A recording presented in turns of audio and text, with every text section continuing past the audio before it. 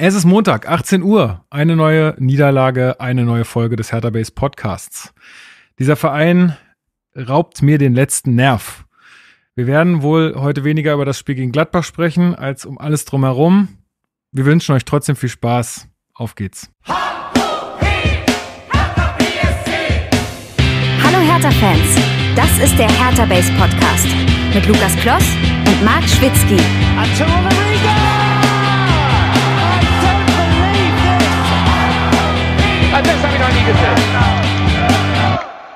Herr Magath. Hertha BSC hat Felix Magath verpflichtet. Wie kommentieren Sie so eine Verpflichtung schön für die Bundesliga? Ja klar, ist ja schön. Äh, wen haben Sie verpflichtet? Felix Magath. Bitte? Wen, wen? Nee, ich habe den Namen nicht verstanden. Felix Magath, der mit den Medizinbällen.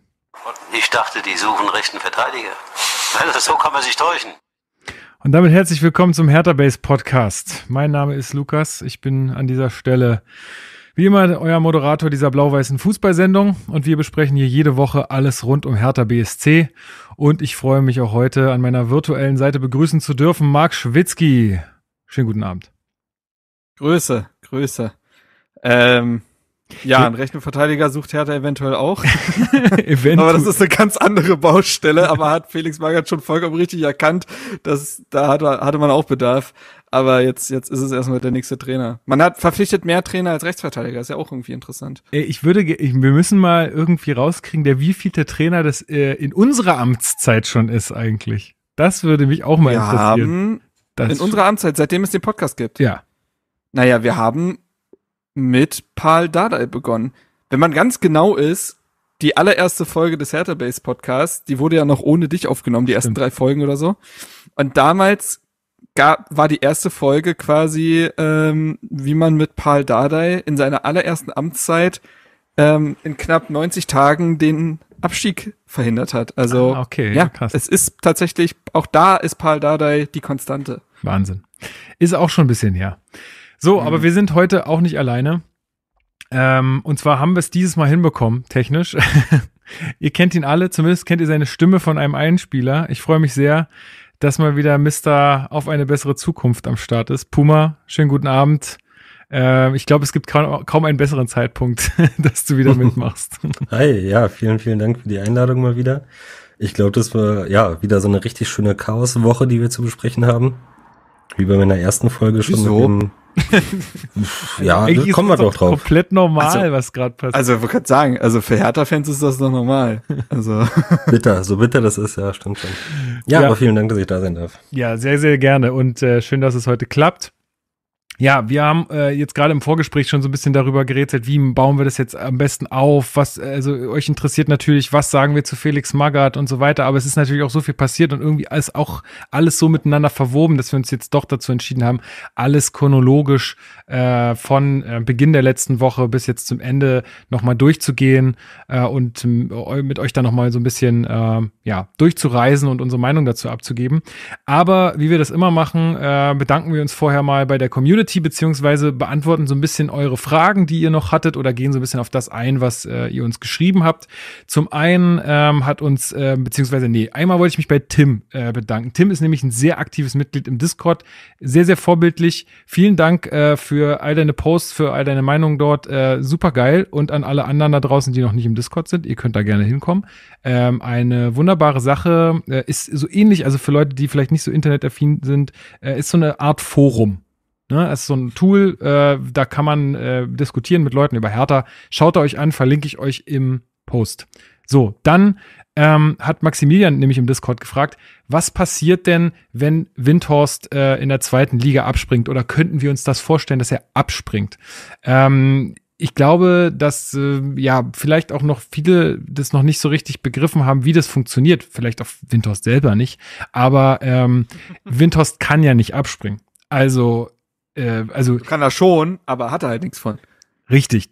Ich, ich erkläre es nochmal ganz kurz. Ich, ich bin auch, oh, oh mein Gott, ich bin auf keinen Fall in irgendeiner Art und Weise da Experte. Ich weiß, dass es super kompliziert ist und dass man da irgendwie mit Fachbegriffen zugeschüttet wird und dass man dann irgendwie äh, manchmal nicht Bescheid weiß, alles gut, sollte jetzt gar nicht irgendwie besserwisserisch oder arrogant rüberkommen. Äh, sorry for that.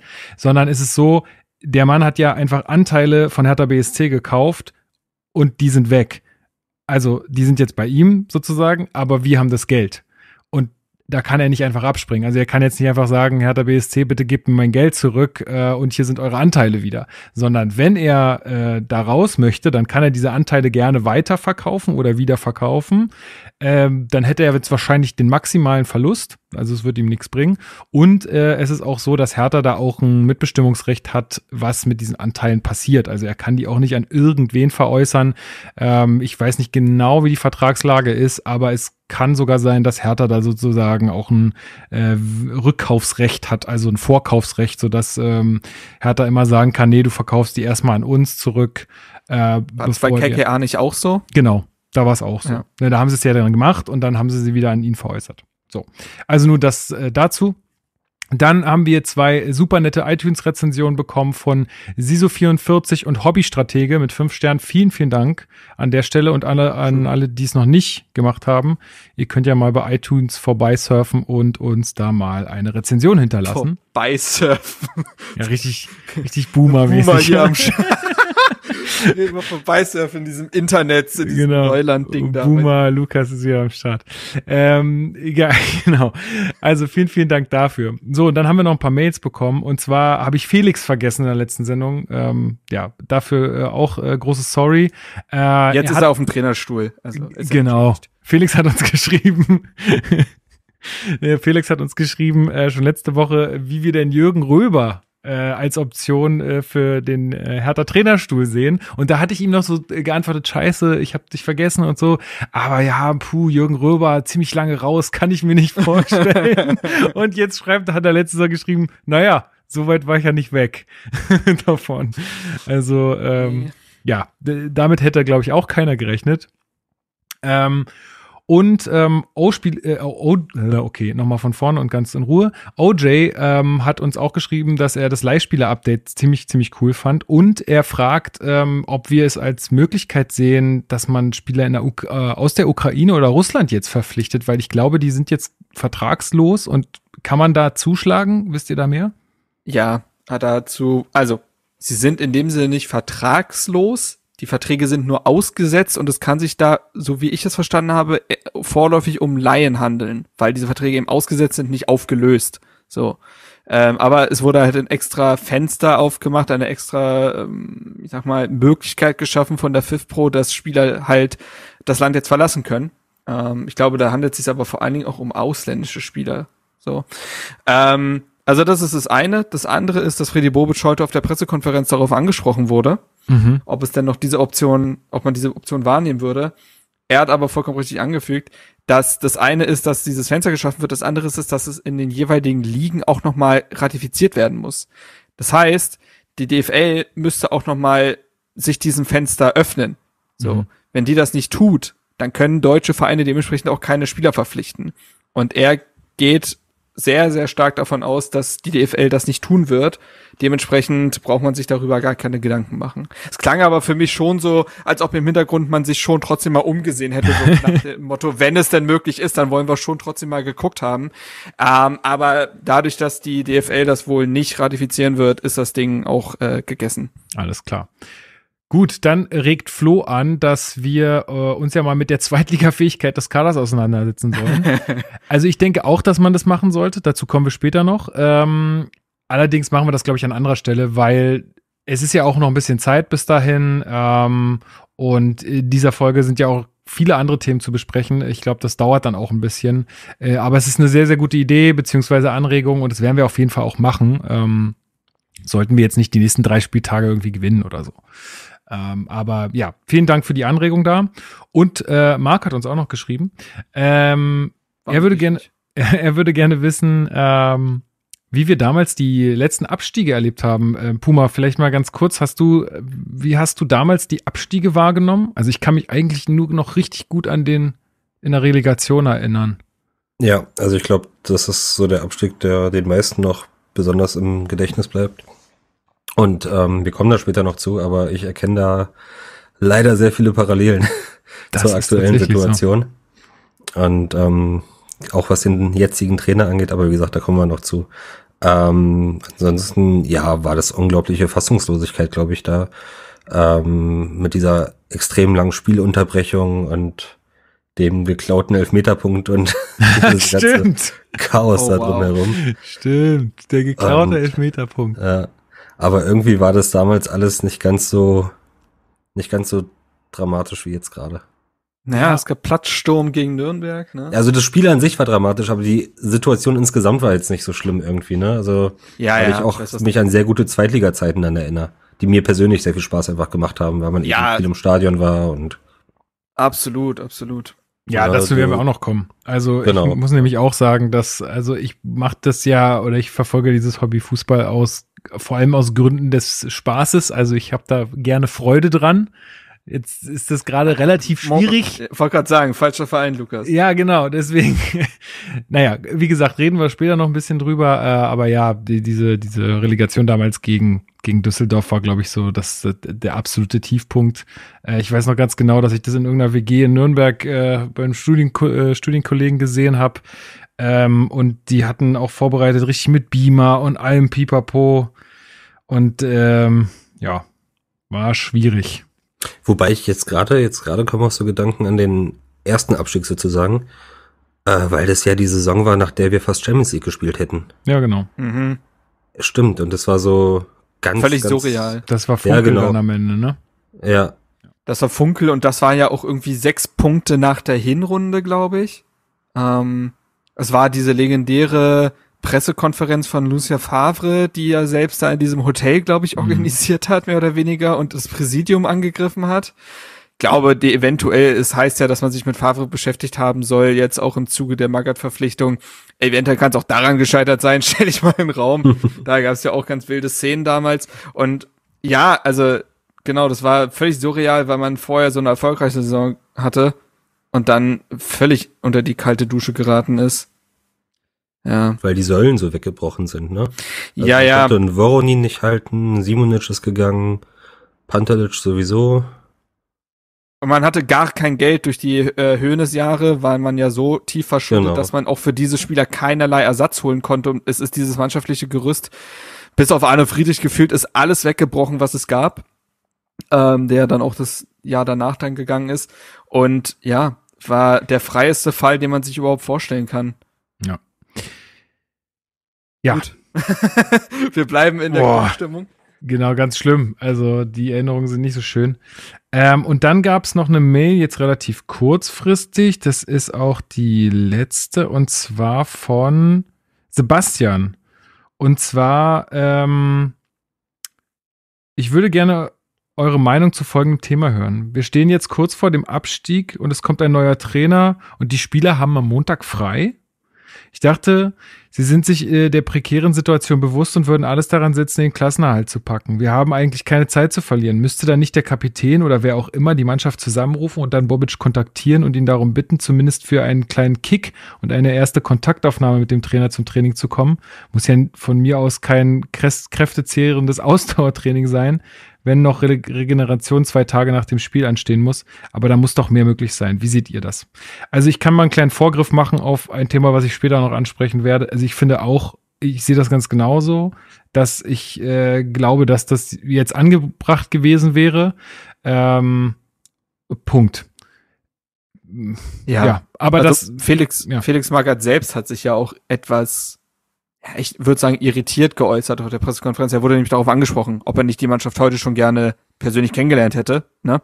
Und er auch sagte, er wollte da jetzt keine Abläufe stören, die schon bestehen, aber natürlich hätte er sich das gewünscht, äh, den Spielern das auch mehr oder weniger persönlich mitzuteilen, zumal, auch dazu kommen wir ja noch, die äh, Spieler auch nur aus den Medien erfahren haben, wer ihr neuer Trainer wird. Auch alles sehr unglücklich, wie ich finde. Ähm, dann hätte man, genau. Und dann mm, sollte man eigentlich jeden Tag nutzen, besonders wenn der Trainer sich am selben Tag den Medien vorstellt, wäre es eigentlich cool, wenn man es vorher mal mit der Mannschaft gesprochen hätte. Es ist, äh, es passt ins sehr unglückliche und chaotische Bild dieses Vereins, sagen wir mal so. Wie siehst du das, Puma? Du denkst, Montag frei, ey, Leute, das war schon immer so, das Leute, wir ist heute aus. Immer so. ähm, ja, war bei mir auch nicht anders. nee, ähm, Quatsch. Also, ja, gerade diese Pressekonferenz, das wirkte alles sehr irritiert und keiner wusste so richtig. Ich glaube, Bobic meinte auch, ja, äh, ich hab die jetzt nicht angerufen. so, Ja, Guckt doch eh immer auf euer Handy. Fand Genau, ich ja, eine ja, sehr genau. komische Aussage. genau. Also das, vor, aber es geht ja nicht anders. Ja, genau. Wirkt dann auch schon wieder so, als ob Bobic mit der halben Mannschaft schon durch ist irgendwie. Die er übrigens zusammengestellt hat. Ähm, ja, aber im Endeffekt gibt's gerade so andere Sachen, die mich mehr stören. Von daher war das jetzt so, ja. ja, Man okay, muss, aber man muss äh, sein, seine Wut muss man portionieren. Genau. Aber also Sebastian, wir können dich da gut verstehen.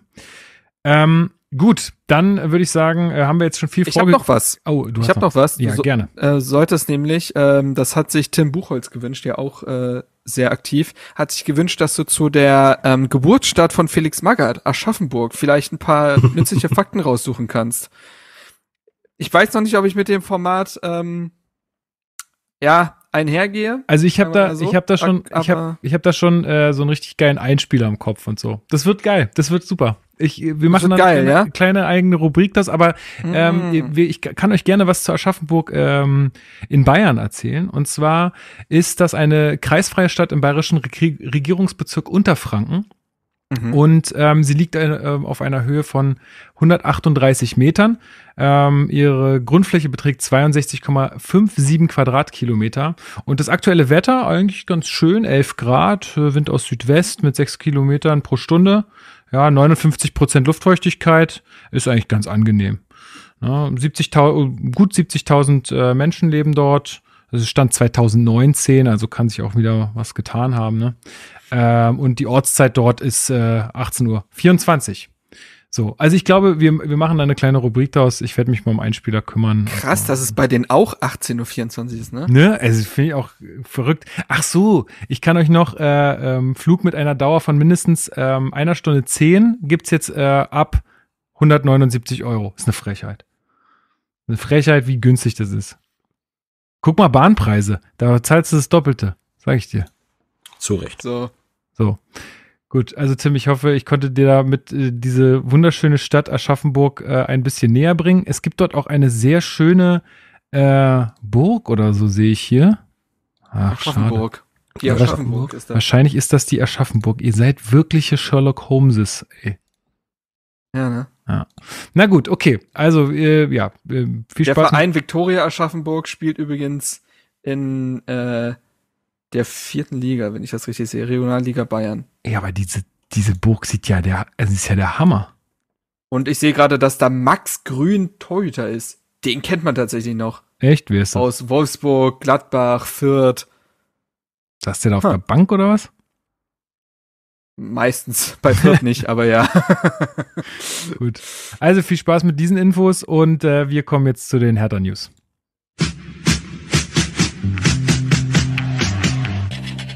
Hertha News. So, wir, ich habe ja gesagt, wir fangen chronologisch an.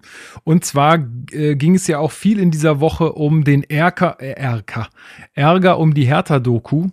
Ähm, Lars Windhorst, äh, beziehungsweise äh, die Bild oder wer, wer hatte geschrieben? Irgendwer hatte geschrieben, ähm, dass äh, Lars Windhorst diese Doku verhindert hätte und so weiter und so fort. Äh, das äh, ist dann wieder alles ausgeartet in einem großen ähm, äh, ja, Krieg, nenne ich es jetzt mal in ganz dicken Anführungszeichen, zwischen äh, Disput. Disput zwischen ähm, Präsidium und ähm, ja, Tenor. Wir wollen das aufs nächste Mal schieben, weil wir glauben, dass das da besser hinpasst. Da ist auch jemand äh, bei uns hier in der Sendung zu Gast, der da vielleicht ein bisschen mehr Einblick geben kann.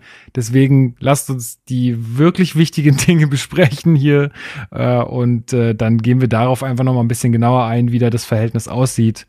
Ähm, ja, ich glaube, das schieben wir einfach mal um eine Woche. Was wir jetzt besprechen wollen, ist ähm, und zwar Arne Friedrich hatte ja innerhalb der letzten Sendung ähm, den Verein vorzeitig verlassen. Äh, also die Meldung kam ja während unserer letzten Sendung rein und wir haben da so ein bisschen äh, ja reagiert, sage ich mal.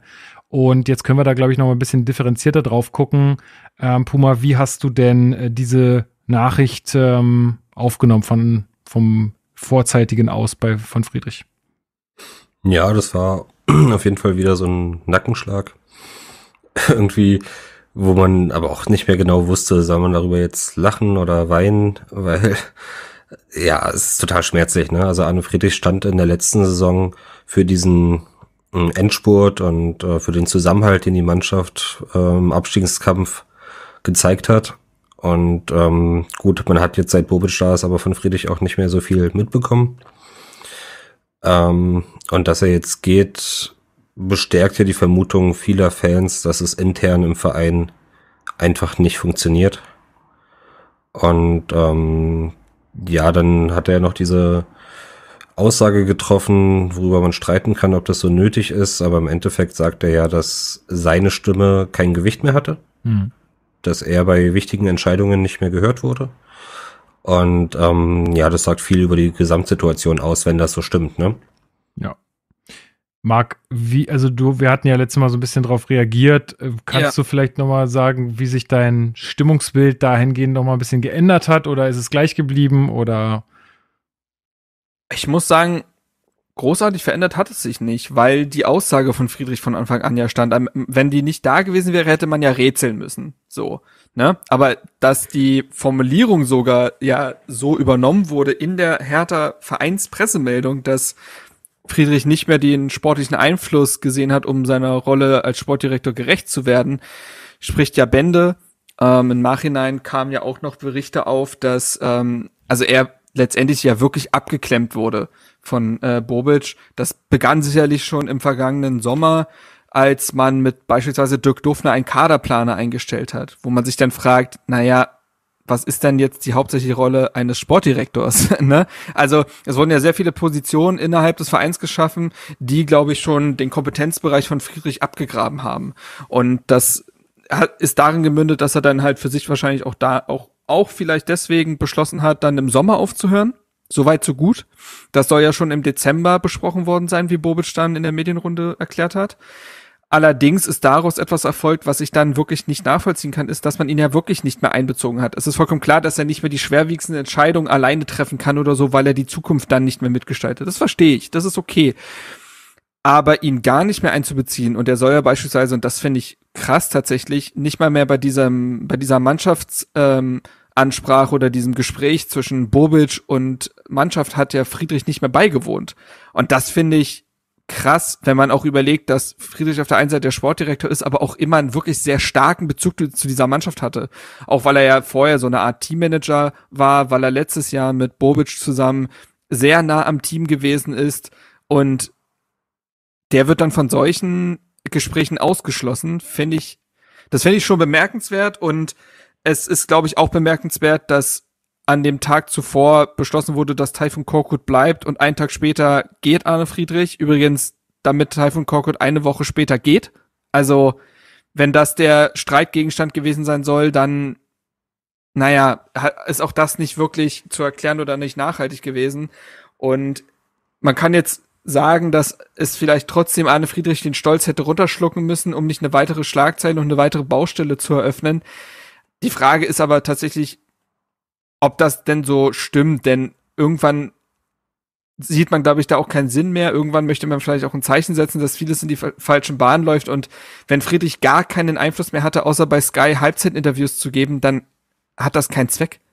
Er muss auch für sich auch gucken, einfach, äh, dass er nicht da irgendwie nur noch, ja, so ein bisschen als Clown da mm, hinhält irgendwie, gerade in solchen Interviews dann. Nee, also was, was die ganze Sache für mich halt so zeigt, äh, ist, dass ähm, Bobic und Friedrich da jetzt auch nicht anscheinend das beste Verhältnis gehabt äh, haben. Ne? Also, weil, warum soll man ihn denn nicht einbeziehen? Ja, okay, er ist ja, ja. dann weg, aber ist doch, aber jetzt ist er doch noch da. Er hat letzte Saison es geschafft, mit Paul Dardai zusammen die Klasse zu halten. Warum jetzt nicht seine Expertise, Meinung noch mit einbeziehen und genau nutzen? Das. Und warum ihn da einfach so ignorieren? Also, das ist, ergibt doch gar keinen Sinn. Das ist doch irgendwie Quatsch. Außer, man versteht sich halt nicht und sagt, ach komm, ich brauche seine Meinung nicht. So, ja? Ne? ist auch eine Entscheidung, ja. aber dann muss man sich halt auch nicht wundern, wenn derjenige sagt, ja, sorry, dann gehe ich halt.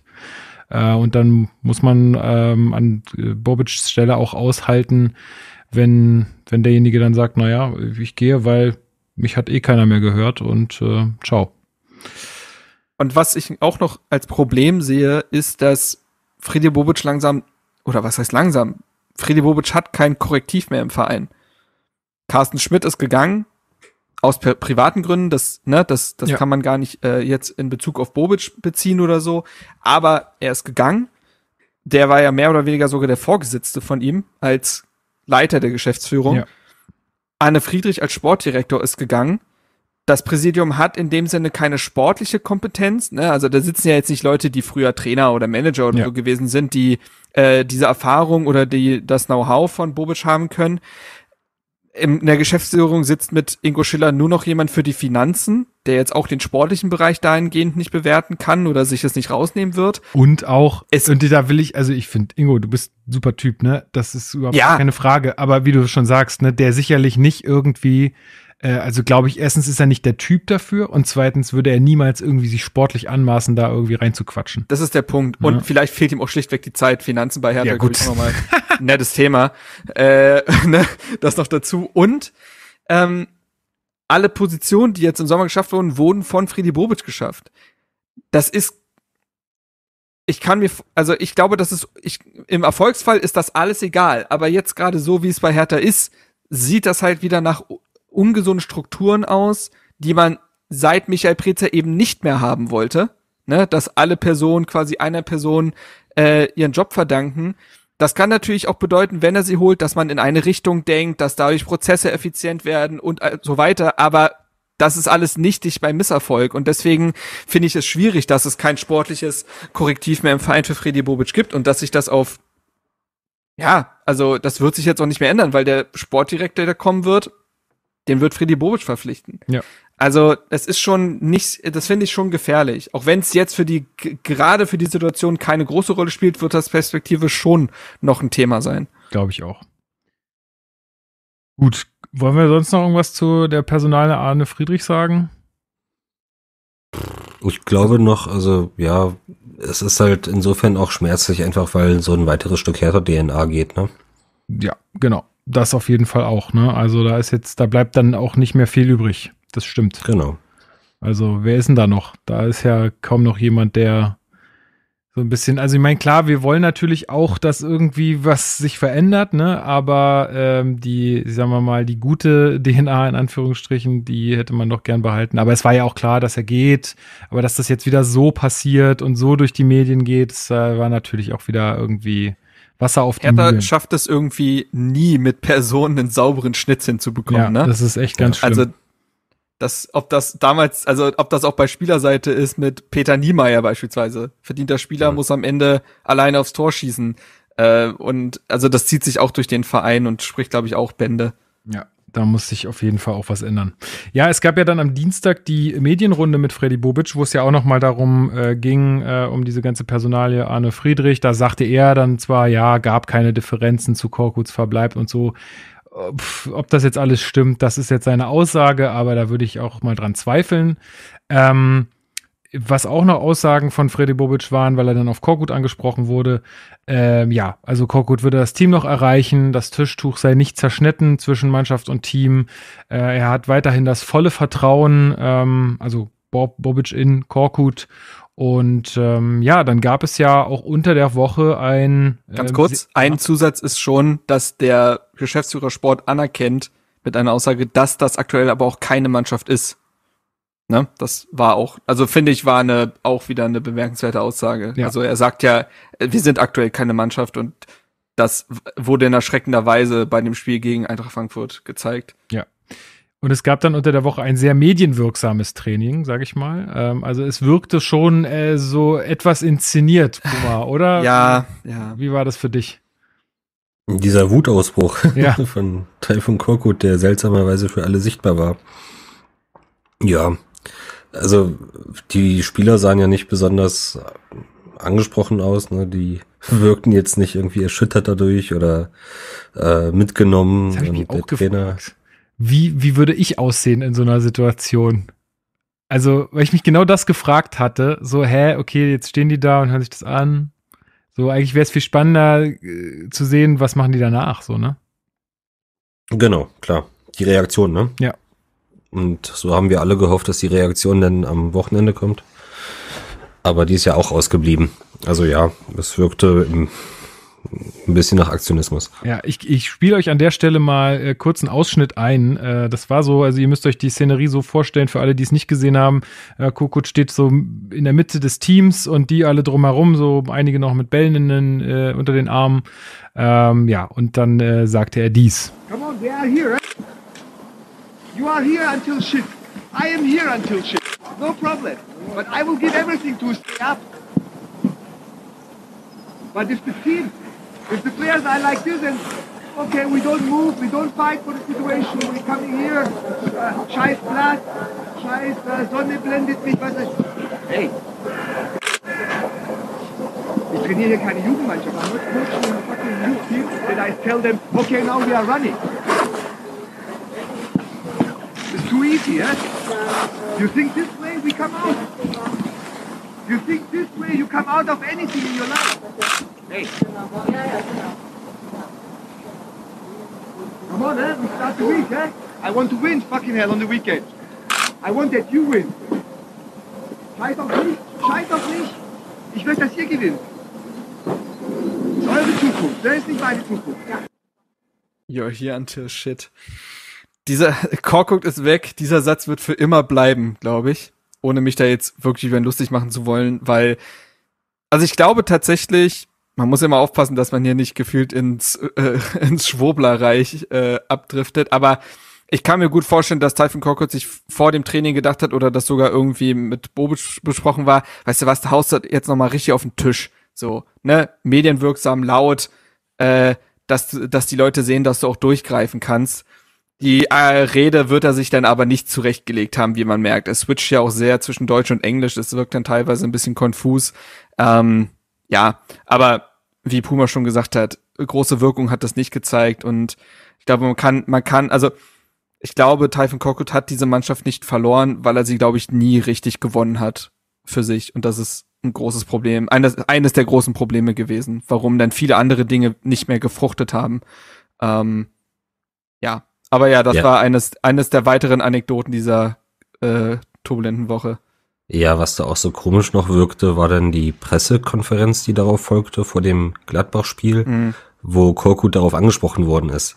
Und da wirkte Er er war fast fast, so, fast froh. ja, so ein bisschen stolz auf sich, so, ja, das bin auch ich, also ich kann hier auch mal laut werden, ja. Und so, ja, aber es, also wirklich ernst wirkte das halt nicht, ne? Also, Also ich glaube, es hätte halt so ein Echo gar nicht erfahren, wenn es wirklich so ist, wie er sagt, so, dass, dass er, da- dass das auch genau sein Gesicht ist und so. Das nehme ich ihm halt auch einfach nicht ab. Und das finde ich auch völlig okay, dass er vielleicht nicht so ein Typ ist, aber dann versuch doch nicht irgendwas zu sein, was du nicht bist. genau. Das ist doch Quatsch. Ähm, gut, aber ich würde sagen, dann können wir theoretisch oder praktisch äh, jetzt auch in die Spielanalyse starten.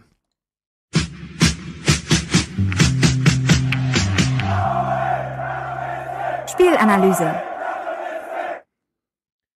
Ja, denn äh, auch Teil von Korkut, ähm, da gibt's auch so ein paar Parallelen zu seinem Aus bei Stuttgart. Ähm, hat mal wieder alles ein bisschen über den Haufen geworfen, was er so die letzten Wochen äh, gemacht hat und hat äh, sowohl sechs Änderungen in der Startelf vorgenommen, als auch ein neues Spielsystem ähm, jetzt wieder äh, ja, benutzt. Ähm, Puma, welche Änderungen waren das denn ähm, und welches Spielsystem haben wir diesmal gesehen?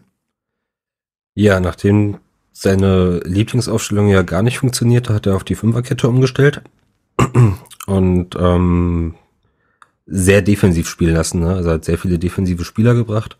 In der Innenverteidigung kam Kempf und Stark für Bujata, Plattenhardt für äh, Björkan und davor dann auch noch Askasibar und Toussaint. Also allein das spricht schon für sehr viel Defensivpower, die er da aufgestellt hat. Ähm, und im Sturm hatten wir dann noch die Überraschung mit Davy Selke Ja. als zweite Spitze neben Belfodil. Ja. Und äh, er sagte ja in der PK, wir wollen nicht den Bu Bus parken, Marc. Genau. Ja, ähm, passt auch zu der Aussage, als er vor dem Spiel, dann war die Aufstellung schon raus, von Sky gefragt wurde, beziehungsweise sie sagt, stellten dann in den Raum, dass sie in dieser Aufstellung acht defensiv, äh, acht defensiv denkende Feldspieler lesen würden. Und er trotzig antwortete, nee, da sind auch zwei Stürmer. Wo ich mir denke, ja, Du hast die Frage nicht Das ist- verstanden. aber das beantwortet die Frage ja quasi dann doch. so, ja. äh, wenn man wenn man so möchte. Also ähm, ist ist schwierig. Ähm, es war ein 5-3-2. Es war das absolut defensives, defensivste, was man sich irgendwie vorstellen konnte, was du aus diesem Kader pressen kannst, wenn deine, ich sag mal, in Anführungsstrichen Schienenspieler ähm, Plattenhardt und Pekarik auch sind. Darida ist dein offensivster Mittelfeldspieler in diesem System gewesen. Dann, sonst hattest du die Arbeiter, Toussaint, Askasibar, Gechter war ja auch drin. Ähm, vorne die beiden langen Zielspieler, Selke, Belfodil. Also es konnte nicht destruktiver sein. Äh, Korkut hat in dieser Aufstellung auf Tempo verzichtet. Es gab kein Tempo, es gab keine Dribbel wie Passstärke, es gab keine Kreativität. Dann gab es gar nichts. Ziel war Tiefstehen, Kompaktheit, defensive Stabilität. Gladbachs Aufstellung, die ja auch mit einer Dreierkette spielen, ein Stück weit spiegeln, ne, und dann selber klarer Fokus auf lange Bälle, Halbfeldflanken und dann irgendwie diese zweiten Bälle und Standards holen. Ähm, und das Spannende ist, dass Taifun Korkut in seinem letzten Spiel als VfB Stuttgart Trainer genau dasselbe getan hat. Hm, Das habe ich Also- ja schon angedeutet, ja. Fünf, auch da 5-3-2, nachdem er vorher in seinem gewohnten Viererkettensystem gespielt hat, extrem defensiv, äh, ja, sehr, konst äh, sehr destruktiv und dann mit 1 zu 3 verloren gegen Hannover und es war sein letztes Spiel als Trainer. Also Geschichte wiederholt sich. Ähm, es ist, das ist schon fast schon wieder lustig, muss man sagen. Also, naja, auf jeden Fall ähm, war die Marschroute ja klar. Also es war, also unter der Woche wurde ja noch gesagt, das hat ja auch dann Bobisch bestätigt, dass man jetzt einen anderen Ansatz wählen möchte für das Spiel. Dass man gemerkt hat, die Mannschaft ist zu verunsichert für das, was Taifun Korkut von der Mannschaft will und dass man jetzt einen einfacheren, defensiv kompakteren Fußball spielen möchte. Aber das hat man ja fast schon satirisch auf die Spitze getrieben mit dieser Aufstellung. Hinzu kommen ja auch so Entscheidungen wie Boyata, klar, wir haben über ihn gesprochen, aber seinen Kapitän draußen zu lassen. Schwolo ist gar nicht mitgereist, den hat er völlig demontiert, obwohl er ja die gesamte Woche trainiert. Ja, äh, äh, der hat die ganze Woche nach Corona, seiner Corona-Infizierung trainiert. Alle dachten, nachdem Lotka ja dann doch gegen Freiburg, äh, Freiburg sage ich schon, gegen Frankfurt mit untergegangen ist, naja, entweder entscheidest du dich jetzt wirklich für Christensen oder dann kehrt halt Schwolo zurück. Schwolo gar nicht im Kader. Alles, was irgendwie für Spielstärke steht, Richter, Serda, Ecklenkamp auf der Bank und Mittelstädt, der mit Toussaint, würde ich vielleicht noch sagen, gegen Frankfurt der einzige war, der gekämpft hat, saß auf der Bank und Plattenhardt, der überhaupt keine Ja. Rolle mehr gespielt, ist plötzlich wieder da Es und Björkan ist auch in Berlin geblieben und also es, es, es schrie vor verzweifeltem Aktionismus, genau das, was ja auch Freddy Bobic die ganze Zeit eigentlich Korkut unterstellt hat oder attestiert hat, dass er ihn in seiner klaren, nicht aktionistischen Art ähm, mögen würde. Ja, Ja, also gerade diese, also ich fand die Fünferkette an sich oder das System an sich gar nicht so verkehrt, aber eben diese Personalentscheidungen, die man nicht nachvollziehen kann. Ne? Also wie du schon sagst, Plattenhardt Ja, ja. aus dem Hut gezaubert, äh, Selke neben Belfodil gestellt, ähm, Björkan nicht auf der Bank, Maolida nicht auf der Bank, Jovetic, Jovetic auch nicht, aber da weiß man ja nicht. Muskelproblem. Ja, muss man aber wieder zum Rück, also auf Bobic zurückführen, ne? Und ähm, ja, Lotka im Tor, das sind schon alles sehr äh, verrückte Ideen gewesen, die da Korkut nochmal aufgefahren hat. Ja, und wie, wie, also ich, nur zur Transparenz, ich habe das Spiel nur in den Highlights, Highlights in Anführungsstrichen verfolgt, ähm, weil ja, ich hatte Besseres zu tun, ehrlich gesagt. Ähm, deswegen würde ich gerne von euch wissen, äh, ich habe ähm, ja nur gesehen, dass äh, irgendwie, also Szenen gab es eigentlich nur von Gladbach. Insofern kann ich mir nicht vorstellen, dass äh, Hertha irgendwie von der ersten Minute an im Spiel war, Puma. Genau, es war wirklich der Fokus komplett darauf gelegt, äh, hinten zu verteidigen und so lange wie möglich zu Null zu spielen. Ähm, an sich mit der Fünferkette auch, wie gesagt, gar kein so verkehrter Ansatz, meiner Meinung nach. Allerdings hat man schon von vornherein gemerkt, dass ähm, es immer wieder kleine Abstimmungsfehler gab und also auch Kempf zum Beispiel ganz schlimm Stellungsspiel und ähm, genau so, dass Gladbach das Spiel dominierte, zwar nicht zu zwingenden Chancen kam zunächst, aber es war immer eine permanente Unruhe im Hertha-Spiel zu merken. Ja, ich, also ich fand den Kommentar von Steffen Rohr noch ganz cool äh, aus dem Kicker, der äh, beschrieben hat das so als Vollgas im Rückwärtsgang. Mhm. Also das fand ich, fand ich eine sehr treffende, ähm, ja, eine sehr treffende Beschreibung für das Ganze. Und äh, ich weiß nicht genau, welcher Gast es war. Ich hatte jetzt äh, gerade noch das kleine Segment beim Rasenfunk über Hertha gehört. Einer der beiden Gäste meinte, er findet es so krass, weil das, was du auch gerade angesprochen hast, ähm, Puma, diese Abstimmungsfehler und so. Hertha macht Fehler, die ergeben keinen Sinn. Also die, da, da, da fehlt es wirklich an allem. Die dreschen in völlig unerklärlichen Momenten, wo man eigentlich Platz hätte, die, den Ball nach vorne, Mhm. wo man sich denkt, hä? Das muss doch jetzt gar nicht sein. Was ist denn los mit dir? So, Die haben den Kopf verloren. genau. Und das äh, sagte Ja. er auch. Äh, Sie haben Die völlig einzigen den Kopf. Spieler, die einzigen Spieler, die da so ein bisschen hervorstechen, sind eben die, die noch nicht verbraucht sind, ne? Also so ein Lotka oder ein Gechter, die machen diese einfachen Fehler komischerweise nicht. Oder nicht Mhm. in dieser Häufigkeit. Und das ist schon bemerkenswert. Also auch gerade ein Camp, wo man ja auch denkt, dass der neu ist und eben eigentlich auch einen ganz guten Eindruck gemacht hat zunächst, der wirkte komplett überfordert. Also als ob der sich dieses Hertha-Niveau direkt äh, angeeignet hätte. Ja, ist schon cool. Direkt in die Vene gespritzt, das Hertha gehen. Das Voll ist schon gut. komisch. Also, das ist ja wirklich, was einfach auffällt und was auch vielen Leuten auffällt, dass einfach diese, die Spieler werden einfach krass schlechter bei Hertha. Ja, du wirst, glaube ich, mit, also auch da erinnert euch an den HSV, wie die, wo, wie die Sommer für Sommer da wieder einen Kader gestellt haben, wo man so dachte, in der Theorie dachten alle dann so, oh ja, geht Mhm. eigentlich.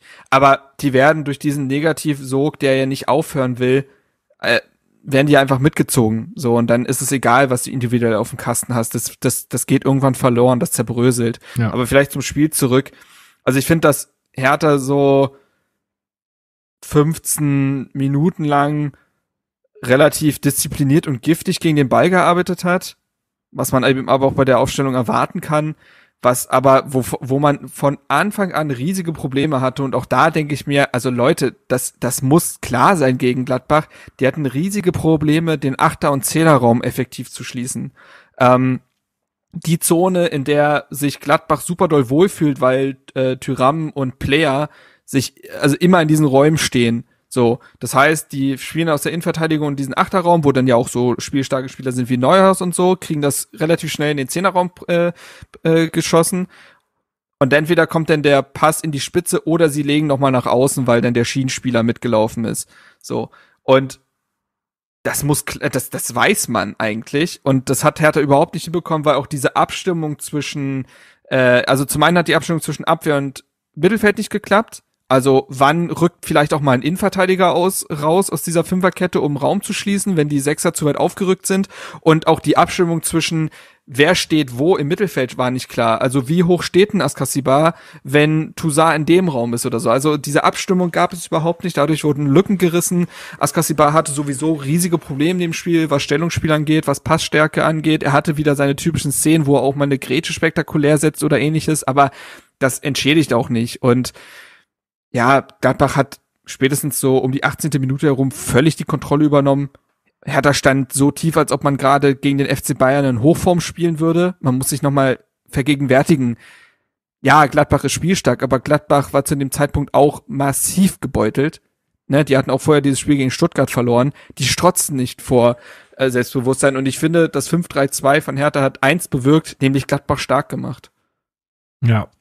Nicht Aber es liegt auch an den Spielern. Also ich glaube, wie gesagt, wenn du da ein bisschen spielstärkere Spieler äh, aufstellst, dann muss es nicht so defensiv nee, sein. genau. ne? Also Und das ist sehe ich total genauso. Also ich bin auch der vollkommen, also das ist ja eigentlich auch, äh, das sagen ja alle, die sich damit auskennen, dass eine Aufstellung nicht gleichzeitig die Marschroute diktiert. Das ist ja vollkommen klar. Es gibt sehr offensiv ausgerichtete Dreierkettensysteme. Beispiel Gladbach. Ähm, ich sehe, und wir haben ja auch ähm, vor nicht allzu langer Zeit hier unsere Wunschaufstellung präsentiert und die ist ja auch mit Dreierkette. Also ich wünsche mir das System an sich, weil ich glaube, dass das zu dem Kader passt, aber so wie es jetzt Korkut aktionistisch interpretiert hat, kann es nicht funktionieren. Das war Ja, mit also- Ansage. Korkut hat im Prinzip die richtigen Schlüsse gezogen, indem er auf Fünferkette umstellt, hat dann aber die falschen Schlüsse daraus gezogen, welche Spieler er bringt. Ja, Marc, du meintest, äh, Hertha hat Gladbach stark gemacht, nicht zuletzt durch einen Elfmeter. ähm, Da, ja, also da fand ich den VAR, da hat er mal gut funktioniert, ging ja auch gegen, gegen Hertha, ne? Da hat das alles relativ schnell in einer, einer, in einer Minute geklappt, dass man sich da abstimmt und den Straf, Strafstoß gibt. Auch total zu Recht. Kempf fault da Tyram, ist äh, ganz klar. Äh, Michael hat dazu uns auch noch eine Mail geschrieben und hat, er hat uns schon mal geschrieben, ihr erinnert euch vielleicht, dass äh, Kempf doch immer noch weiterhin insgeheim für Stuttgart arbeitet. Und, äh, Ja, sowieso gab's diesen Tweet mit ähm, quasi Herthas, äh, nee, Stuttgarts Klassenerhaltsteam und dann waren da halt Korkut, Bobic und Kempf abgebildet. Da musste ich schon lachen. ja, Da musste äh, ich schon lachen. Ja. Also, ja, ist natürlich, also ist natürlich, also ich glaube nicht, dass es so ist, dass äh, der wird schon äh, jetzt für seinen derzeitigen Arbeitgeber alles tun, aber das war halt leider ähm, sehr ungestüm von ihm. Ähm, ja, Player macht dann diesen Elfer auch äh, gut und locker rein und ähm, ja, damit ist eigentlich zur ersten Halbzeit auch schon fast alles gesagt, oder? Ja, weil Hertha mit dieser Defensivtaktik ja den Schalter nicht mehr umlegen kann. Du musst dir ja vorstellen, also das habe ich ja auch schon unter Paul Dardai öfter gesagt, nur weil er dann in der Schlussphase drei Stürmer reinstellt, heißt das nicht automatisch, dass man gefährlicher ist und nur weil man zwei Defensivspieler mehr reinstellt, heißt das nicht, dass man defensiv sicher steht. Das ist ja immer noch Hertha BSC und wir haben ja die fehlenden Abstimmungen besprochen, wir haben ja die Verunsicherung besprochen. Du musst davon ausgehen als Trainer, dass deine Mannschaft, wenn äh, in die, also ne, wenn deine Mannschaft härter ist aktuell, musst du davon ausgehen, dass sie in Rückstand geraten kann. So und das passiert in der 24. Minute und 20 Minuten lang merkst du, dass es keinen Plan B gibt. Also es konnte, also in dieser Marschroute, die, in der Hertha aufgestellt wurde, konnten sie gar kein anderes Szenario bedienen als ein 0 zu 0. Und das finde ich fast schon erschreckend naiv. Ja. Na, er hat ja dann auch reagiert. In der Halbzeit kommt dann äh, Suat Serdar für Askasiba in die Partie. Also so ein bisschen mehr Spielstärke hat er dann eingewechselt, Puma. Und ich habe auch so, was ich gelesen und gehört habe, ist, dass auch Hertha zunächst mal stark verbessert dann aus der Halbzeit rauskam. Ja, zunächst muss man noch ganz kurz erwähnen, dass Hertha zur Halbzeit einen Expended, Expected Goals Wert von null hatte. Ja, Ich glaube, das ist äh, Rekord. Also das gab es vorher noch nicht. Dementsprechend musste er wechseln, hat äh, Suat Serdar gebracht. Und äh, man hat gemerkt, dass der Fußball spielen kann, ne? Also, ähm, Was? Ich hab's gemerkt, ja. da gab es also, auch einen tollen Tweet. Nein, das war, das war. Das, da ja, gab es auch einen tollen meinst. Tweet, den hast du, glaube ich, auch Also, geteilt. ja. Ich habe den bei der Elf Freunde gelesen. Ähm, wie war das, unter welchen Trainern äh, Suat Serdar schon Mhm. alle, äh, alles trainiert hat? Ich Äh, hab's hier. Lesen wir vor, das war gut. Kleiner Reminder, dass Suat Serdar in zwei Jahren von David Wagner, Manuel Baum, Hub Stevens, Christian Gross, Dimitros Gramotzis, Paldadei, Taifun Korkut und Felix Magger trainiert wurde. Ich würde verstehen, wenn der Bruder im Sommer seine Schuhe an den Nagel hängt. von wem war der Tweet? El Maestro. El Maestro. Also ja, ey, ich find's auch richtig krass, vor allen Dingen jemand mit solchen Anlagen, ne? Das musst du dir mal vorstellen, ey. Und dann ist, hat er, das ist einfach nur ein einziges Chaos, seine Karriere gerade. Das ist einfach ganz schlimm. Der wird sich Ja, halt denken, der hat, also. Ja, sag. Nee, ich, ja, wo wir wieder beim Thema defensive Aufstellung sind, ich habe gerade mal reingeschaut. Ähm, wenn wir unser zentrales Mittelfeld anschauen, dann hat Suat Serdar bessere Zweikampfswerte als Darida oder Toussaint. Ja, und kann dazu auch noch Fußball Ja, weil da spielen, diese also- Dribblings dabei sind. Na, die zählen ja auch als Zweikämpfer. Also wenn er quasi ein Dribbling gewinnt, was er ja oft tut, dann zählt das als gewonnener Zweikampf. Der ist aber dann nicht Ja. defensiv geführt. Aber ist, ist ja auch Nee, egal, aber ich würde ihn jetzt nicht viel schlechter abschreiben, ne, was Defensive angeht. Also ist Ja. keiner, den du jetzt nur offensiv bringen kannst. Nee, aber es ist, du hast ja ohne Serda, hast du kein verbindendes Element in deinem Spiel. Und das ist, also, ich verstehe das gar nicht, wie man auf die Idee kommen kann. Also wirklich, ich bin, ich bin wirklich, ich war, also ich habe mir die Aufstellung angeguckt und man will ja da nicht altklug klingen, aber ich wusste, dass das nicht funktionieren kann. Es konnte nicht funktionieren. Es war mit Ansage. Es war klar, dass Hertha ein Gegentor kassiert, weil sie das in jedem einzelnen Spiel tun. Und zwar nicht nur einmal. Und es war klar, dass du mit dieser, Anf mit dieser Aufstellung nicht antworten kannst. Ich weiß nicht, ich weiß nicht, was der Plan gewesen ist. So, ähm, Hm. so und zur zweiten Halbzeit, Serda kommt und oh Wunder, Hertha spielt flüssiger und dynamischer. Also man stand dann etwas höher, man hat versucht ins Pressing zu kommen, nachdem man ja in der ersten Halbzeit, also man hat ja nicht mal in der Mittellinie gepresst, Ähm, Dann stand man höher, man sammelte auch dann, komischerweise, mehr Abschlüsse, erste Abschlüsse, erste Offensivmomente. Man hatte ja beispielsweise auch in der 54. Minute den ähm, sehr gefährlichen Kopfball von Kempf nach Ecke von Mhm. Plattenhardt. Ja. Da kann Sommer gerade noch halten. Aber auch das ist härter. Ne? Dann hast du deine beste Phase des Spiels, die immer noch nicht gut ist. Versteht mich da nicht falsch, aber es ist gemessen an dem, was man vorher gesehen hat, die beste Phase. Und dann reißt du dir das in der 60. Minute durch ein Standardgegentor ein. Also viel mehr härter geht ja nicht. Ja.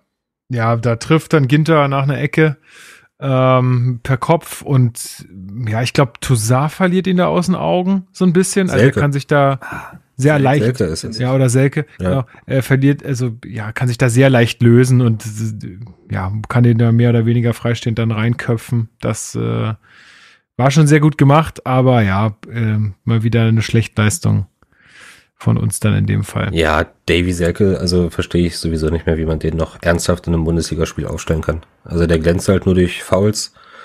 Ähm, das mag man ihm ja noch irgendwie als Wille auslegen. Im Endeffekt ist das nicht Bundesliga-tauglich.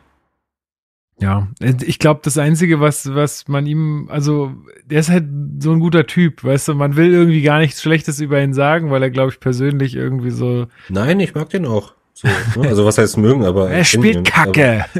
Aber, aber er spielt halt einfach unglaublich schlecht und wir sind ein Mann weniger. Also auch sein Anlaufen ist nicht gut und ähm, ja, also von dem war über 90 Minuten nicht zu sehen, bis auf eben diesen verlorenen Zweikampf, der zum 2 zu 0 geführt hat. ja, das ist es leider. Er ist bemüht. Er ist bemüht. Auch Belfodil war bemüht. Ne? Also Belfodil hat auch, der hatte gute Momente in der Partie wieder. Er, er kann Bälle festmachen. Er hat sich auch öfter mal fallen lassen, um einen Achter von Gladbach anzulaufen oder ähnliches, wenn das Mittelfeld von Hertha mal wieder überfordert war. Er hatte eine Chance vorbereitet, wo er per Hacke ablegt, sehr schön. Aber wenn du gefühlt dreieinhalb Bälle in der Partie bekommst und nichts nachrücken kann, weil alles defensiv auf dem Feld steht, wird's halt schwer, ne? Ähm, Na und halt Selke, der da vorne nicht viel hilft. Ne? Also du musst ja, ja, wenn klar, also Belfodil du so auch nicht spielt, groß kombinieren, ja. wenn Belfodil so spielt, wie er spielt und sich immer wieder auf die Flügel fallen lassen muss und so weiter, dann muss ja irgendjemand im Zentrum da sein. Aber mit Ja, und Selke hast du Selke diese Person halt nicht. Turnt halt überall rum, aber nicht da, wo er stehen soll ungefähr. Ich, wie gesagt, der, der, der Einsatz ist da, aber naja. Ich finde tatsächlich, dass man noch äh, Anton Kader erwähnen kann. Der kommt ähm, in der 61. Minute für Pekarik, der einmal mehr völlig überfordert war und ich bin dazu geneigt, natürlich auch Pekarik als erfahren, trotz seiner Erfahrung leidet natürlich darunter, wie die gesamte Mannschaft spielt, aber der ist, das ist nicht mal mehr dieses Mister zuverlässig. So, sorry, aber das, das, das, das, das reicht nicht mehr, finde ich. Aber das nur am Thema am Rande. Anton Kader wiederum. Ich finde, Anton Kader hat das wirklich gut gemacht. Also, der hat richtig Tempo mitgebracht, der hat Zug nach vorne gebracht, der hat Tiefe mitgebracht. Oh, also, das Wort war ja vorher ein Fremdwort gefühlt. Ähm, obwohl der jetzt auch nicht der gelernte rechte Schienenspieler ist.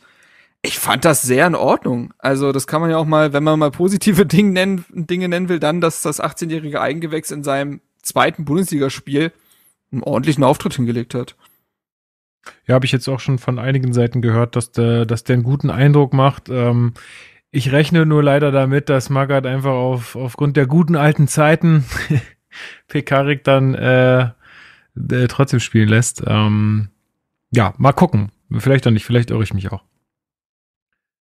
Ja, aber im Anschluss muss man sagen, dass es wieder, dass auch da, das Spiel hat ja eigentlich keine neuen Erkenntnisse geliefert und auch eine weitere neue Erkenntnis ist nicht, dass, dass, Mannschaft, dass die Mannschaft im Anschluss, sie will noch, die Spieler wollen, ne? also sie, die haben sich nicht aufgegeben, aber es will wieder jeder für sich alleine.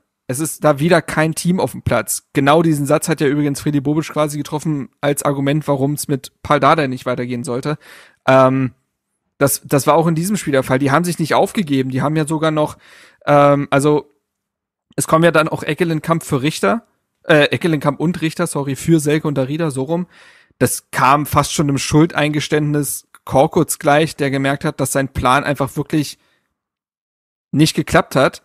Und als Eckelenkamp und Richter reinkommen, naja, drei Minuten später trifft Eckelenkamp die Latte. Mhm.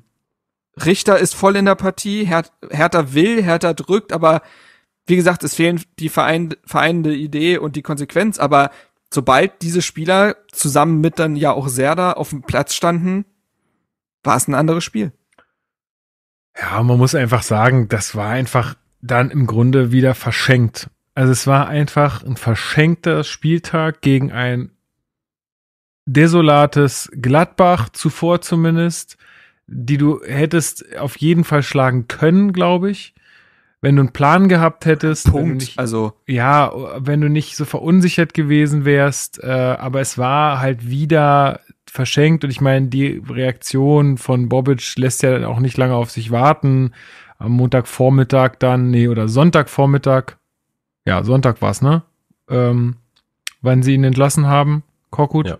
ja, Sonntag. ja genau. Also eigentlich hat er im Interview schon bei äh, Ja. Sky danach schon gesagt, dass das jetzt vorbei ist. Ja, und Also er äh, hat gesagt, wir äußern uns im Laufe des nächsten Tages darüber. also, gut, ja. dann ist auch schon klar, was sie. Ja, das Ärgerliche ist halt, dass das so unnötig alles ist. Das ist alles so brutal unnötig, weil es so, äh, ja, so Fehlentscheidungen mit Ansage sind. Also jetzt auch wieder die Aufstellung, wie gesagt, das sind nur kleine Stellschrauben, die man hätte verändern müssen, um nicht zu so einem ganz schlimmen Ergebnis zu gelangen. Und wenn du gegen Gladbach einen Punkt holst und gegen Frankfurt auch einen Punkt, auch wenn der unverdient sein mag, dann hast du zwei Punkte mehr als jetzt und zwei Gegner, die noch weiter unten drin stehen oder mit dir zusammen weiter unten drin stehen, als es jetzt der Fall ist, ne?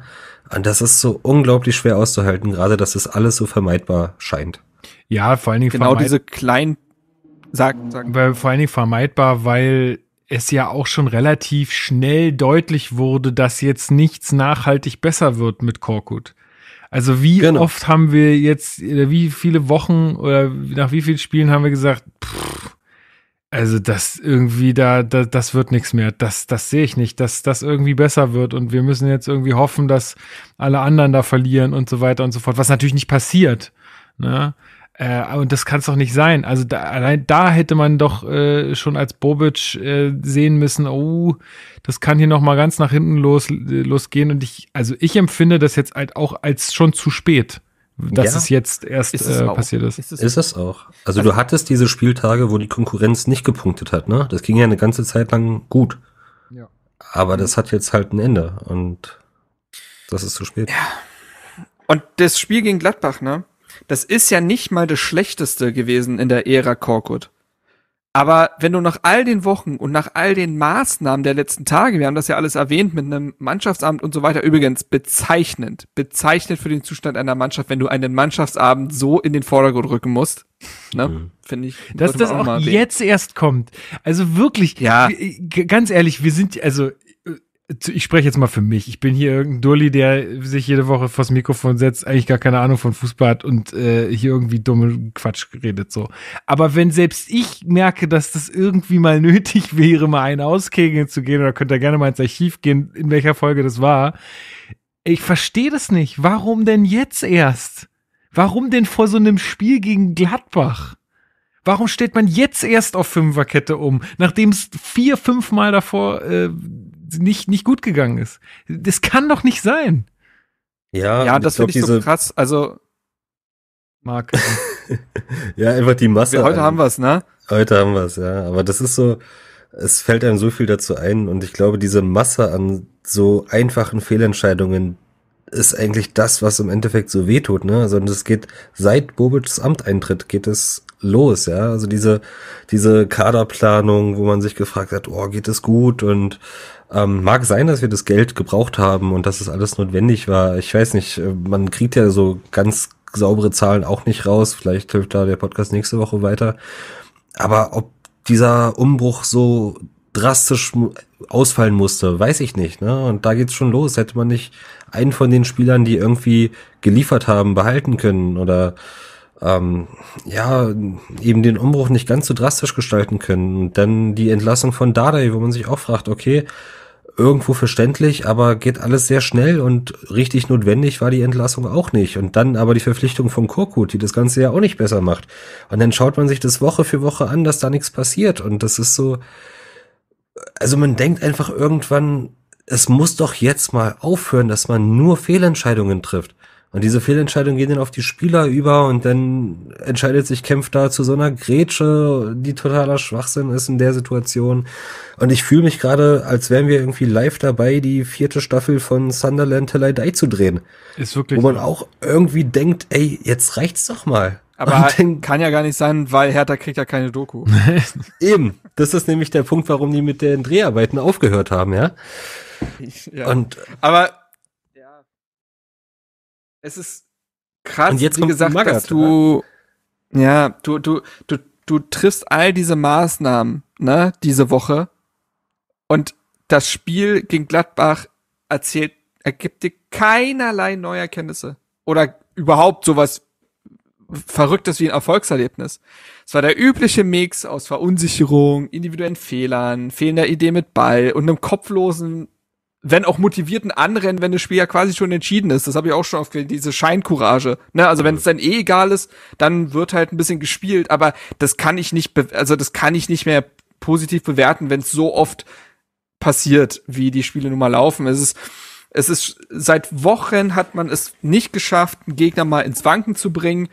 Es, es, seit Wochen hat man keine Widerstandsfähigkeit. Ähm, und was ich auch so krass finde, ist, dass man erinnere sich an die, an die Antritts-PK von Typhon Korkut. Da konnte er ja schon selber keine Antwort darauf liefern, was er überhaupt, also, ne, wie, wie, was jetzt seine Idee ist, was der Schlüssel ist, was er jetzt verändern will Spiele wo er gewinnen. sagte, ja, Spiele gewinnen, erfolgreich sein. Wie Fand viele hat er denn gewonnen? Äh, stark. Wie viele, wie viele Spiele hat er Hm. gewonnen? Eins? Zwei? zwei, glaube ich, Dortmund und Bochum. Nee, Dortmund und, und Äh, Bielefeld. Bielefeld, Entschuldigung, ja, nicht Bochum, Bielefeld. ja, äh, ne, Punkteschnitt von 0,75 oder so. Übrigens habe ich mal geguckt, wenn man den Punkteschnitt von Paul Dardai gehalten hätte, jetzt nur, nur in der Theorie, ne, Mhm. dann wäre man jetzt bei 28,6 Punkten. Das Mhm. sind, runden wir mal ab von mir aus, sind wir bei 28, sind, wären wir jetzt, da wäre Hertha jetzt fünf Punkte über dem 16. Und ich halte es nicht für unrealistisch. Und man hätte sich die Tordifferenz nicht so zerschossen, glaube ich, aber anderes Thema. Ähm, so, und was ich aber sagen wollte, Antritts-PK Taifun Korkut, er wolle sich an den Eigenschaften der Spieler orientieren. Da hat er einen sehr, einen sehr pragmatischen Eindruck erweckt, ne? Ja. Und es ist das Gegenteil. Es ist Ja. das absolute Gegenteil. Als vollkommen klar war, Lukas hat ja gerade schon erwähnt, dass das von Spiel zu Spiel nicht geklappt hat. Und er hat nichts verändert. Er hat weiter an seinem System festgehalten, er hat weiter an seiner Spielart festgehalten, die die Mannschaft offensichtlich nicht umsetzen kann, weil zum einen Spieler dafür fehlen und zum anderen die Verunsicherung schon so um die Mannschaft gegriffen hat, dass das nicht mehr klappt. Du kannst nicht mit solch einer Mannschaft versuchen, sauberen Ballbesitzfußball zu spielen. Ich, also das geht nicht in meinen Kopf, dass da nicht irgendwann der Schalter kam, da müssen wir umdenken. Und als der Schalter kam, kam so ein Spiel wie gegen Gladbach raus, wo man gefühlt die Spieler auf die Torlinie gestellt hat. Also auch völlig überreagiert in dem Moment. Aber dieses pragmatische, im Gegenteil. Ja. Und natürlich ist es so, dass Typhon Korkut, der war nie das alleinige Problem. Ne, es ist nie das, aber er war auch, er war, er war auch, aber auch nie Teil der Lösung, hatte man das Gefühl. Nee, und, das, Und Nee. das stellt mittlerweile die Dada-Entlassung in ein ganz anderes Licht. Und es stellt eben auch Freddy Bobic sehr in den Fokus. Und jetzt überleg mal, das ist ja das zweite Mal schon, dass Hertha diesen Fehler begeht. Erst hat, erst äh, hat Preetz diesen Fehler gemacht, jetzt hat ihn Bobic gemacht.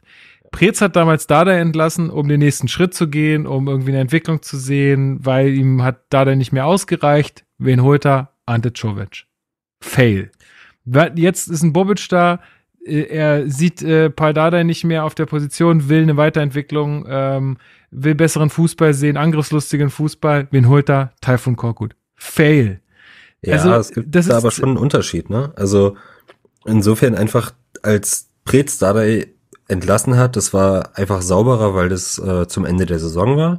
Es gab den Investor, so ein bisschen Aufschwung, gab auch neue Spieler mit Luki Bacchio und so die Aber Entscheidung. stellst du dann den U23-Trainer hin? genau, das ist falsch, das ist falsch, klar, aber es war zu einem Zeitpunkt, der nachvollziehbarer war. Genau. Jetzt Das- haben wir das- die ja. Situation, Ja, ja, dass wir einen nicht. Nee. kompletten Kaderumbruch haben. Ja. Ja, der gerade damit beschäftigt ist, nicht abzusteigen. Wir haben einen Trainer, der dieses Ziel durchschnittlich über die Saison bis dahin komplett erfüllt hat. Und dann sagen wir aber, komm, ja, wir packen das jetzt auch noch an und wechseln jetzt auch noch den Trainer aus Naja, und spielen dann da- Europa League. Da haben, da haben, da haben bestimmt auch persönliche Differenzen mit reingespielt, da bin ich mir Das ganz glaub ich sicher. eben auch. dass es nicht nur sportliche Gründe hat, aber ich meinte vorhin, äh, also ich meinte vor allem auch den Fehler, dass man, wenn man sagt, man, wie, so, wie du ja auch richtig gemeint hast, Puma gerade, ne, wenn man sagt, ich entlasse jetzt hier jemanden, der soliden Job gemacht hat, vielleicht nicht schön, aber der, der hätte uns in der ersten Liga gehalten, so. Äh, in, in both, äh, ja, in, in beiden Saisons so, ne?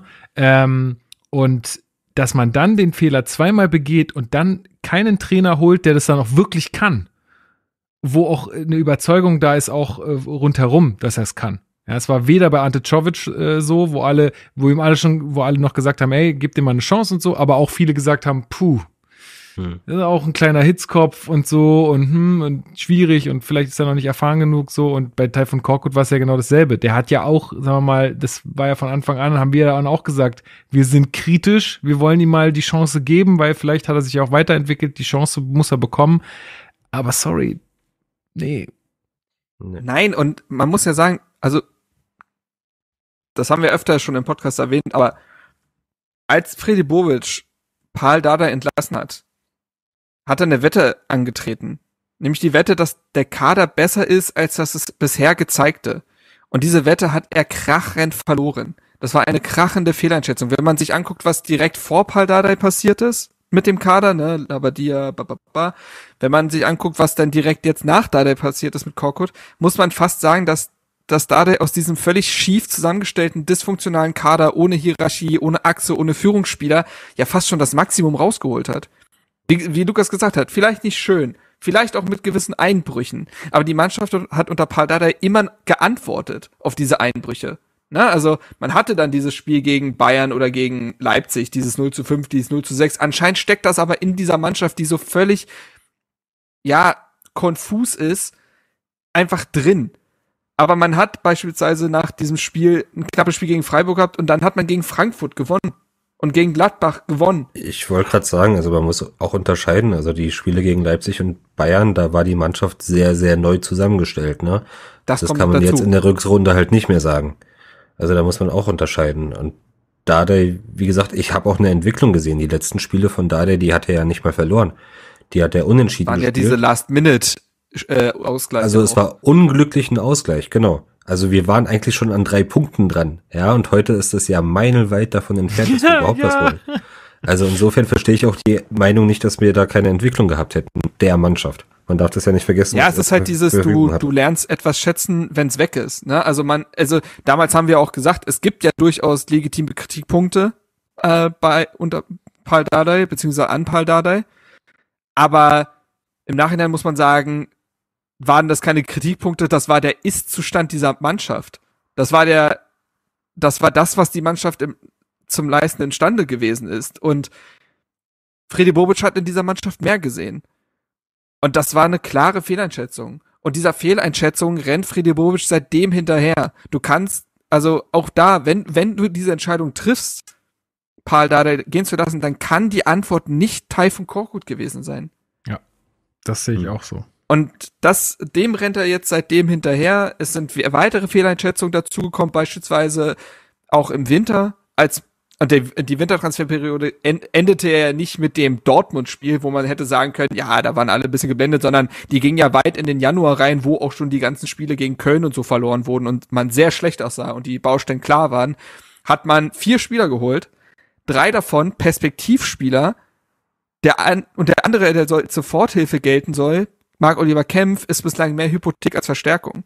Auch da, Zudem hat man auch mal wieder. Spieler abgegeben, ja. ja, mit Piontek beispielsweise, ne, oder Ja, gut, da hat man natürlich Ringer, ja. sich auch finanziell, glaube ich, ein ja. bisschen sondieren wollen. Ne? Also ich glaube, die werden halt einfach arschviel verdient haben. Das- ja, naja, Tona Riga weiß ich jetzt nicht, Ja, aber gut. Piontek sicherlich. Piontek, den Piontek-Deal, den würde ich auch nach wie vor, den, das verstehe ich, aber du hast die Mannschaft auch im Winter nicht verbessert, das wollte ich damit sagen. Und Ja. Es ist, es ist schon krass, dass, also die Situation, die du jetzt hast, ne, so eine zersplitterte und bis ins Mark verunsicherte Mannschaft, ohne Führungsspieler, das wäre eigentlich genau die richtige Mannschaft für ein Paul Dardai. der ihr einen fußballerisch einfachen Plan an die Hand geben kann und auch einfach ein bisschen menschliche Wärme. Weil Typhoon Korkut hat irgendwie nichts ausgestrahlt. Weder war er der harte Hund, ne, der die Mannschaft jetzt vielleicht auch wie Felix Magath da einfach anders anpackt, noch war er eben jemand wie Paul Dardai, der mit den Spielern auch eine wirkliche Verbindung aufbauen konnte. Ich hatte in der gesamten Zeit jetzt nie das Gefühl, dass sich Trainer und Mannschaft sonderlich schätzen. Also Spieler, die noch irgendwie das Potenzial gehabt hätten, ein Teil, der Teil einer Achse zu sein oder der Mannschaft etwas zu geben, was sie vorher nicht hatten, wurden nach und nach von Korkut demontiert. Und andere Spieler hat er nicht, also Typhon Korkut hat keinen Spieler dieses Kaders besser gemacht. Ja. Nee. Nee, im Gegenteil. Ja. Würde ich auch sagen. Doch, Tusa. Aber sonst. Ja, ja, gut. Ja, ob das noch, ob das noch von Korkuts Handschrift war, weiß ich nicht. Ich glaube, der hat sich in den letzten zwei Spielen einfach gedacht, ich hau noch mal alles raus, aber ähm, sei es drum, es ist, es ist der absolute Super-GAU und er ist eben gepflastert mit Fehlentscheidungen von Freddy Bobic und diesen Fehlentscheidungen müsste er sich stellen. Ähm, dass er jetzt gerade natürlich auch versucht, einen breiten Rücken zu haben und ähm, nach vorne zu gehen, das ist ob der Situation wahrscheinlich sogar das Richtige. Ja, jetzt auch absolut. zielführend, wenn er sich hinstellt und sagt, ey, tut mir voll leid, darum geht's gar nicht. Nee. Aber am Ende der Saison, egal ob nicht abgestiegen wird oder abgestiegen wird, muss schon eine Abrechnung mit den Entscheidungen gefällt werden und dementsprechend anders gehandelt werden. Also es braucht eine Reaktion auf dieses Jahr, denn das ist komplett in die Binsen gegangen. Das ist auch mittlerweile fast egal, wie der Saison äh, Endspurt aussieht. Selbst wenn man die Klasse hält, ist das keine erfolgreiche Saison gewesen. Im Gegenteil, sie ist ja fast noch, ja, sie ist eigentlich noch schlimmer als die letzte gewesen. Und das, es war eigentlich, das ist eigentlich kaum vorstellbar gewesen. Aber dann lasst uns doch mal äh, drauf gucken, was äh, jetzt äh, Bobic ähm, entschieden hat. Und zwar ähm, hat er jetzt einen neuen Trainer ähm, äh, zu Hertha BSC gelotst. Äh, und das ist dann doch äh, auch eine Überraschung gewesen. Ich meine, wir haben es jetzt schon ein paar Mal gesagt. Äh, und zwar Felix Magath äh, wird neuer Cheftrainer oder ist jetzt neuer Cheftrainer bei Hertha BSC und wird dann auch am, äh, am Spieltag gegen Hoffenheim auf der Bank sitzen. Äh, es gab heute auch schon am Montag die Pressekonferenz um 13 Uhr. Wir hatten auch vorhin schon äh, kurz drüber gesprochen, dass es, äh, das ein bisschen komisch war, dass äh, auch gar kein, also dass vor allen Dingen die Mannschaft, und das wollte ich jetzt auch nochmal ganz explizit sagen, das finde ich so seltsam, diese Entscheidung auch von Bobic, der Mannschaft am Sonntag zu sagen, ey, der, äh, der Trainer äh, geht übrigens und ja, wird ein neuer kommen, guckt mal auf eure Hand- Handys, ihr werdet es schon erfahren. Was ist denn das für ein, also sorry, aber was ist denn das für eine, für eine Art und Weise. In keinem Unternehmen läuft es so. In, in einem Unternehmen werden, also in einem gut geführten Unternehmen, werden immer erst die äh, MitarbeiterInnen informiert, was passiert und dann die Presse und nicht umgekehrt. Und sicherlich nicht so, dass irgendwer irgendwas aus der Presse erfahren muss. Vor allen Dingen nicht die Spieler, die bis zum Saisonende mit diesem Trainer den Abstieg verhindern müssen. Was ist denn da los? Da ist ein Geschäftsführer Sport mit seiner Mannschaft, von seiner Mannschaft völlig entnervt, glaube ich. Ey, das ist doch Also, nicht sein Anders, Ernst. anders, anders, anders weiß ich nicht, wie ich das lesen soll. Also, ich, ich, du, man ist bei Hertha wirklich am Ende des Lateins. Ich war ja in den letzten Tagen auch viel irgendwie, weiß nicht, Sportradio Deutschland, Sky und so, und dann werden natürlich viele Fragen in die Richtung gestellt, warum oder, ne, und man soll erklären, und bei Hertha kann man nichts mehr erklären. Das ist, du kannst auch darlegen, wie die Entwicklung gewesen ist oder so, aber warum gewisse Dinge passieren, da steigt man einfach nicht mehr hinter. Und das ist schon krass. Es ist wirklich ganz, ganz, ganz, ganz seltsam. Also diese, diese Entscheidung finde ich ganz, ganz seltsam. Äh, aber lass uns mal über die, über die Pressekonferenz sprechen. Äh, Marc, wie hast du denn Magath wahrgenommen? Erstmal so, was hat er für, für einen Eindruck auf Ja. dich gemacht? Äh, war das der Magath, den man so von früher kennt? Äh, wie, wie hat er so auf dich gewirkt? Ähm, Ja. Ja, kann man schon sagen. Also war jetzt nicht so, dass da ein seniler alter Mann saß, der die Namen seiner Spieler nicht mehr kennt. Wobei, da wurde, dahingehend wurde er noch nicht geprüft. Hoffen wir wirklich sehr, dass er nicht den Christian Groß macht. Aber nein, also der, der Auftritt in der Pressekonferenz, der war durchaus positiv. Er wurde mir von manchen Seiten wieder zu positiv gemacht. Also viele schöpften da eine Hoffnung, wo ich mir dachte, ja, Weiß ich jetzt nicht. Also das ist vielleicht auch einfach nur, weil es ein neues Gesicht ist und man das noch nicht mit vielen Negativmomenten verbindet. Das reicht schon bei Hertha-Fans mittlerweile. Ich fand sie in Ordnung, die Pressekonferenz. Er hat einen ähm, selbstbewussten Eindruck gemacht, ne? hat aber auch einen selbstironischen Eindruck gemacht. Ne? Also hat mit so einem relativ trockenen Humor teilweise Dinge kommentiert, ähm, war, war sich bewusst, wie er auch gesehen wird in der Öffentlichkeit. Ähm, und dahingehend war er relativ klar. Es waren natürlich auch sehr viele Phrasen dabei. Ich glaube, auch das kommt daher, dass er diese Mannschaft noch nicht kennengelernt hat und er teilweise halt eben drumherum schiffen musste, um am Ende den Satz zu sagen, muss ich mir noch anschauen. also äh, das wird dementsprechend auch noch ein paar Tage dauern, bis er überhaupt ein Gefühl für diese Mannschaft entwickelt hat. Zwischendurch war es ein bisschen komisch, als er meinte, er müsste die Spieler auch mal riechen. Mal sehen, wie das Gespräch wird. Ähm, aber nee, im Ernst. Ähm, es war ein es war ein ordentlicher Auftritt. Alles weitere, also auch da sind Hertha-Fans ja mittlerweile, glaube ich, ähm, geschult. Worte und Auftreten sind das eine, was auf dem Feld passiert, wirklich was ganz anderes und da muss geliefert werden und da, ich greife mal vor, sind meine Hoffnungen am Siedepunkt. Ja, Puma, wie ging's dir damit? Also auch als du die Entscheidung dann mitbekommen Moment, hast. Moment, Siedepunkt ist ganz kurz. Ich denke gerade laut drüber nach. Siedepunkt ist doch kurz bevor es kocht, oder? Genau. Mhm. Ja, das ist ja dann Quatsch. Dann ist meine, sind meine Hoffnungen am Nullpunkt. So. Ich koche auch gerne mal, wenn es um Na, geht. Gefrierpunkt. Machen wir so rum. Ähm, Puma, wie ging's dir mit der Entscheidung auch dann für Felix Magath? Weil der Mann ist ja jetzt auch schon eine Weile raus bei, bei, äh, also als Trainer zumindest. Der hat zuletzt in der chinesischen Liga trainiert. Äh, da hat er wohl auch einen äh, abstiegsgefährdeten Verein SD Lun Eng oder so, keine Ahnung, äh, 2017 auch vom Abstieg bewahrt. Ähm, davor war er noch bei Fulham, ist da auch, glaube ich, eher gescheitert. Da ist er abgestiegen, ja. Ähm, ja, wie, wie hast du, wie hast du die Entscheidung so aufgenommen? Was hast du dir gedacht, als du es gehört hast?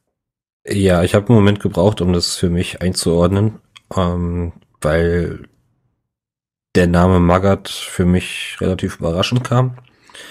Ähm, aufgrund der fehlenden Alternativen, aber irgendwie doch realistisch klingt. Ähm, und gut, man hat verbindet, oder ich verbinde mit Magath ähm, die tollen Jahre mit Wolfsburg oder Bayern, ne, ist oft deutscher Meister geworden vor allem eben mit Wolfsburg dieser diese Überraschungsmeisterschaft, äh, wo die einfach nur geilen Fußball gespielt haben auch. Auf der anderen Seite eben auch veraltete Trainingsmethoden, die man mit ihm verbindet, eben die Medizinbälle. Ähm, von seiner Person her hat er auf der Pressekonferenz in meinen Augen gut gewirkt, hat ähm, das Beste draus gemacht. Aber eben diese ganzen Umstände, die ja anscheinend Themen, die mit Bobic nicht besprochen worden sind oder die Kommunikation mit der Mannschaft, das wirkte alles sehr äh, unförmig und dadurch ähm, wieder mal unstimmig, was man ja bei Hertha gewohnt ist, aber das hat mir persönlich keine große Hoffnung gemacht. Ähm, zumal wir ja hier oder ihr auch im Podcast immer wieder sagt, wir sind jetzt in einer Ausnahmesituation, ja, man muss irgendwas ändern. Und dann wird aber gesagt, ja, sollen wir den freien Montag erstmal behalten, wir wollen hier nicht allzu viel ändern. Das verstehe ich halt nicht, ne? Also da muss man eben sagen, okay, ist eine Ausnahmesituation, auch wenn das jetzt 7 Uhr morgens ist. Wir rufen jetzt das Team erstmal zusammen, treffen uns irgendwie im Trainingsgelände und besprechen dann intern erstmal alles weitere. Weil die Pressekonferenz, die war um 13 Uhr. Ähm, ich glaube, bis dahin, ich weiß nicht, was die den ganzen Vormittag gemacht haben, ne? Aber das wirkt halt alles so sehr, ja, nicht gerade, nicht gerade zielstrebig und nicht zielführend. Ähm, Im Endeffekt, wie gesagt, Magath hat mich sehr stark an, oder diese Trainerverpflichtung hat mich sehr stark an die Abstiegssaison erinnert, als wir Otto Rehagel verpflichtet haben. Der kam auch als großer Name, war dreimal deutscher Meister, hat dreimal den DFB-Pokal gewonnen, hat mit Griechenland die Europameisterschaft gewonnen. Und ähm, ja, eben der Name steht für sich. Im Endeffekt wissen wir alle, wo das hingeführt hat. Ähm, Felix Magath meinte auf der Pressekonferenz, er hat sich angepasst, er ist reflektiert darüber, wie seine Trainingsmethoden sind, beziehungsweise hat gelernt, die auch flexibel anzupassen. Ob dem so ist, wird man sehen. Ja, insofern, ähm, ich gebe ihm natürlich eine Chance, genauso wie wir Korkut eine Chance gegeben haben. richtig glücklich macht mich die Verpflichtung nicht, aber mangels Alternativen ist das schon in Ordnung, in meinen Augen. Ja, also da, da kann ich sehr viel das irgendwie von bestätigen. Also für mich, als ich das jetzt gehört habe, dachte ich auch erstmal so, boah, ey, die wollen, die wollen mich einfach nur triezen bei diesem Verein. Die wollen mich einfach nur triezen. Aber dann muss man ja wirklich mal weiterdenken und sagen, okay, wer, wer hätte es denn gemacht? So von, also von, von den Trainern, die gerade da sind und zu welchem Trainer hätte man gesagt, ja, geil, super Entscheidung. Also da gibt's glaube ich, sehr, sehr wenige. Ähm, und wenn man dann auf einen kommt, wo man sagt, ja, das wäre eine coole Lösung gewesen, dann glaube ich, ist die Wahrscheinlichkeit sehr, sehr gering, dass der sich das angetan hätte. So ein Felix Magath hat jetzt dadurch auch nichts mehr zu verlieren, genauso wie ein Rehagel dadurch nichts mehr zu verlieren hatte. Also und dazu kommt ja auch noch, wir haben ja auch immer wieder gesagt, du musst jetzt irgendwas grundlegend ändern. Und ich glaube, dass ein Felix Magath eine sehr starke Veränderung herbeiführen wird, was jetzt die Abläufe oder was einfach das Gefühl vom Training und so angeht. Ich glaube, das wird schon ein Einschnitt sein für die Mannschaft. Dennoch glaube ich nicht, dass er das hinkriegt. Ich kann es mir einfach beim besten Willen nicht vorstellen, dass er es jetzt schafft, mit dieser Mannschaft äh, den Abstieg zu verhindern, egal wie gut er noch sein mag. Marc, ähm, wie siehst du das? Welche Knöpfe muss der jetzt drücken, dass es schnell besser wird? Ja, ähm, Knöpfe bei Hertha, ja. Auch da ist man ja fast schon ratlos. Haben ja ein paar Trainer schon versucht. Nein, also ich muss sagen, ich verstehe die ich verstehe die Idee hinter Felix Magath, ne? Klassischen Feuerwehrmann holen, viel Erfahrung, jemand, der sofort funktioniert und nicht erst eine komplexe spielerische Idee irgendwie implementieren muss, weil dafür ist einfach nicht mehr die Zeit. Ich verstehe aber die Wahl bezüglich Felix Magath nicht so ganz, weil er seit zehn Jahren raus ist. Er ist seit zehn Jahren raus, seine letzten Stationen haben wir schon gesagt. Ähm, der war in China. Naja, das äh, Fulham-Ding äh, wurde auch äh, irgendwie Regiment des Wahnsinns genannt von Leuten, die dort äh, da waren. Da ist alles in die Binsen gegangen und auch seine zweite Station bei Wolfsburg war nun ja. Plus, äh, der war ja auch Geschäftsführer, der war ja auch Geschäftsführer, oder was heißt Kickers. Geschäftsführer, der war Global Director, ja. Global Director von den Würzburger Kickers und Mira Wacker. Auch da hat nichts funktioniert. Und danach ist er eigentlich nur noch in Doppelpass-Auftritten oder so aufgefallen, eben mit, mit den typischen Phrasen, über die wir uns sonst sehr aufregen, weil sie sehr veraltet wirken, weil sie sehr plakativ sind. Wie gesagt, er hat jetzt einen anderen Auftritt gehabt auf der Pressekonferenz, aber trotzdem bleibt das alles bei mir so hängen, dass ich das, ich, ich sehe es nicht. Ich sehe es nicht. Ähm, er hat jetzt ähm, ja auch einen Co-Trainer an die Seite gestellt bekommen oder hat sich selber dazugeholt. Mark Fotheringham, erstmal ein guter Name. Äh, Schotte 38 war zuletzt Co-Trainer bei Ingolstadt unter Thomas Oral. Sorry, das ist jetzt auch nichts, wo ich mir denke, ah, da kommt jetzt die spielerische Note her oder so. Ich will nicht, ne, ich will ihn nicht blind bewerten, aber all das muss ich wirklich sagen, ich habe keine Hoffnung mehr dafür. Ich habe keine Hoffnung mehr dafür. Ähm, es ist klar, dass Magath eben jetzt nicht mit den Medizinbällen kommt, weil er wird jetzt kein intensives, extrem intensives Training mehr fahren, weil es muss er jetzt Zu kein, spät. also in acht Spielen wird jetzt keine Auf, Ausdauer mehr aufgebaut oder ähnliches. Das ist Quatsch. Also, das ist jetzt alles ganz doll lustig, haha, aber das wird ja nicht passieren. Ähm, plus, Felix Magath hat letzt, relativ letztens, ich glaube letztes Jahr noch behauptet, Taktik sei jetzt auch nicht so wichtig. Hat manchmal seine Mannschaften wohl völlig ohne Taktik aufs Feld gestellt und hat trotzdem gewonnen. Das, deswegen findet er das als heutzutage alles überhöht. Viel Taktik ist also auch nicht zu erwarten. Ähm, und dementsprechend wird es nur um den Kopf gehen. Es wird nur darum gehen, in den Kopf der Spieler zu kommen, den Schlendrian rauszubekommen, eine Einheit zu bilden. Das ist die Aufgabe von Felix Magath. Ob er dafür der Richtige ist, ich weiß es nicht. Ähm, ich, ich persönlich hätte jemanden wie Friedhelm Funkel deutlich besser verstanden, weil der immerhin noch letztes Jahr äh, in der Bundesliga tätig war, hat ja Köln da auch äh, zum Klassenerhalt geführt, wenn auch knapp. Hat davor bei Düsseldorf auch relativ lange ja noch gearbeitet. Und nur mal als, nur mal als Vergleich, wie lange Magath aus der Bundesliga raus ist. Ich lese euch mal seine letzte Bundesliga-Aufstellung vor. Ja? Datum 20. Oktober 2012. Alter. Im Sturm Doppelspitze. Übrigens das schöne 4-4-2, wer weiß. Ähm, Bas Dost, Ivica Olic. Geil. Ne? Auf den Außen Vierinha und Hasani. Hasani kenne ich nicht mal, aber gut, Vierinha kennt man noch. Auf der Doppelsechs Knoche und Kahlenberg. Viererkette Ricardo Rodriguez auf links, Pogatetz, Naldo, Fagner und im Tor Benaglio. Eingewechselt wurden übrigens Marcel Schäfer, Christian Tresch und Sirdan Lakic. Wahnsinn. Geile Mannschaft. Ja, ähm, geile Mannschaft. da weckt, äh, das weckt wieder Gefühle. So Ja, ist ja. nicht, aber das zeigt, wie lange er eben raus ist. Und ich hab, ich, ich, ich hab die Angst, dass dann doch dieser Christian Groß-Effekt eintritt, dass der Trainer völlig überwältigt davon ist, was mittlerweile in der Bundesliga gespielt wird. Aber ja, es wird darum gehen, um die Köpfe zu kommen, dadurch halt wieder den Kopf frei zu machen, damit die Spieler ihre individuelle Qualität wenigstens aufs Feld schicken. Ne? Wenn Belfodil, Jovetic, Serdong, Richter beispielsweise das hinbekommen, wer weiß, und wenn die Abwehr ein bisschen mehr miteinander kommuniziert, wer weiß, aber ey, sorry, es tut mir leid, ich, ich halte die Wahrscheinlichkeit für relativ hoch, dass Hertha auch unter Magath nichts mehr zustande bekommt und völlig verdient absteigen wird. Es tut mir leid. Also Marc, ich bin voll bei dir und äh, also bin auch der Meinung, dass wir leider runtergehen, einfach weil alle anderen Mannschaften den Tick besser sind als wir. Ähm, trotzdem bleibt halt so ein bisschen Hoffnung, wenn man einfach so an Spiele aus der Hinrunde wie zum Beispiel gegen Dortmund denkt.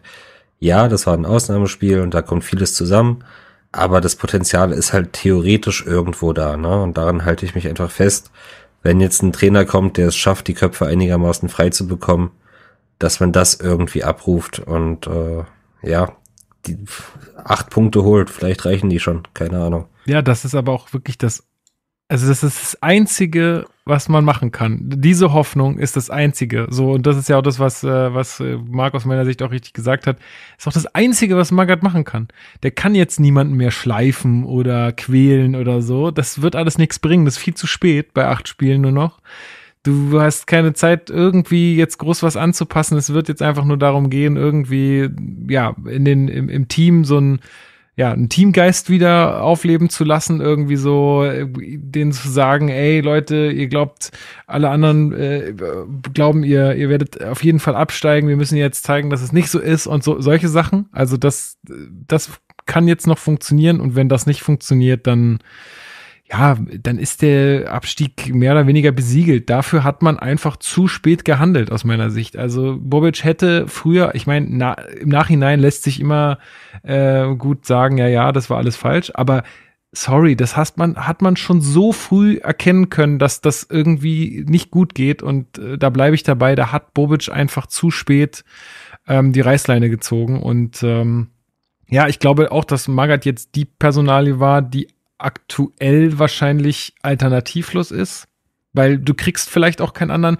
Bobic hat ja auch gesagt, er hat sich schon unter der Woche vor Gladbach mit Magath äh, besprochen. Also ist auch nicht so, dass äh, Bobic nicht schon da nach jemandem gesucht hätte. Wahrscheinlich, ich weiß nicht, vielleicht wollte er auch schon davor andere Leute haben, die ihm dann aber auch abgesagt haben. Ähm, und äh, hat sich auch vielleicht einfach zu spät drum gekümmert, keine Ahnung, weil dieses Spiel für, für Korkut noch zu geben, war ja auch ein Himmelfahrtskommando. Das wusste man ja auch vorher, dass das nicht klappt. Also da ist ganz, ganz, ganz viel schiefgelaufen und erlaubt mir bitte eine ähm, ja, persönliche Einschätzung, weil ihr es ja auch gerade schon gemacht habt mit äh, Hertha BSC wird absteigen. Und ich glaube tatsächlich auch, dass das einfach der Fall sein wird und dass äh, dieser Verein aus meiner Sicht nicht mehr zu retten ist äh, in der ersten Liga. Und wenn wir absteigen werden, dann wird diese Mannschaft komplett von Null nochmal aufgebaut. Dann meinetwegen ist es auch Bobic, der dann nochmal nur noch ein Grundgerüst vielleicht an Spielern hat, aber es wird sich sehr viel auflösen. Die Gehaltsgefüge wird sich ändern.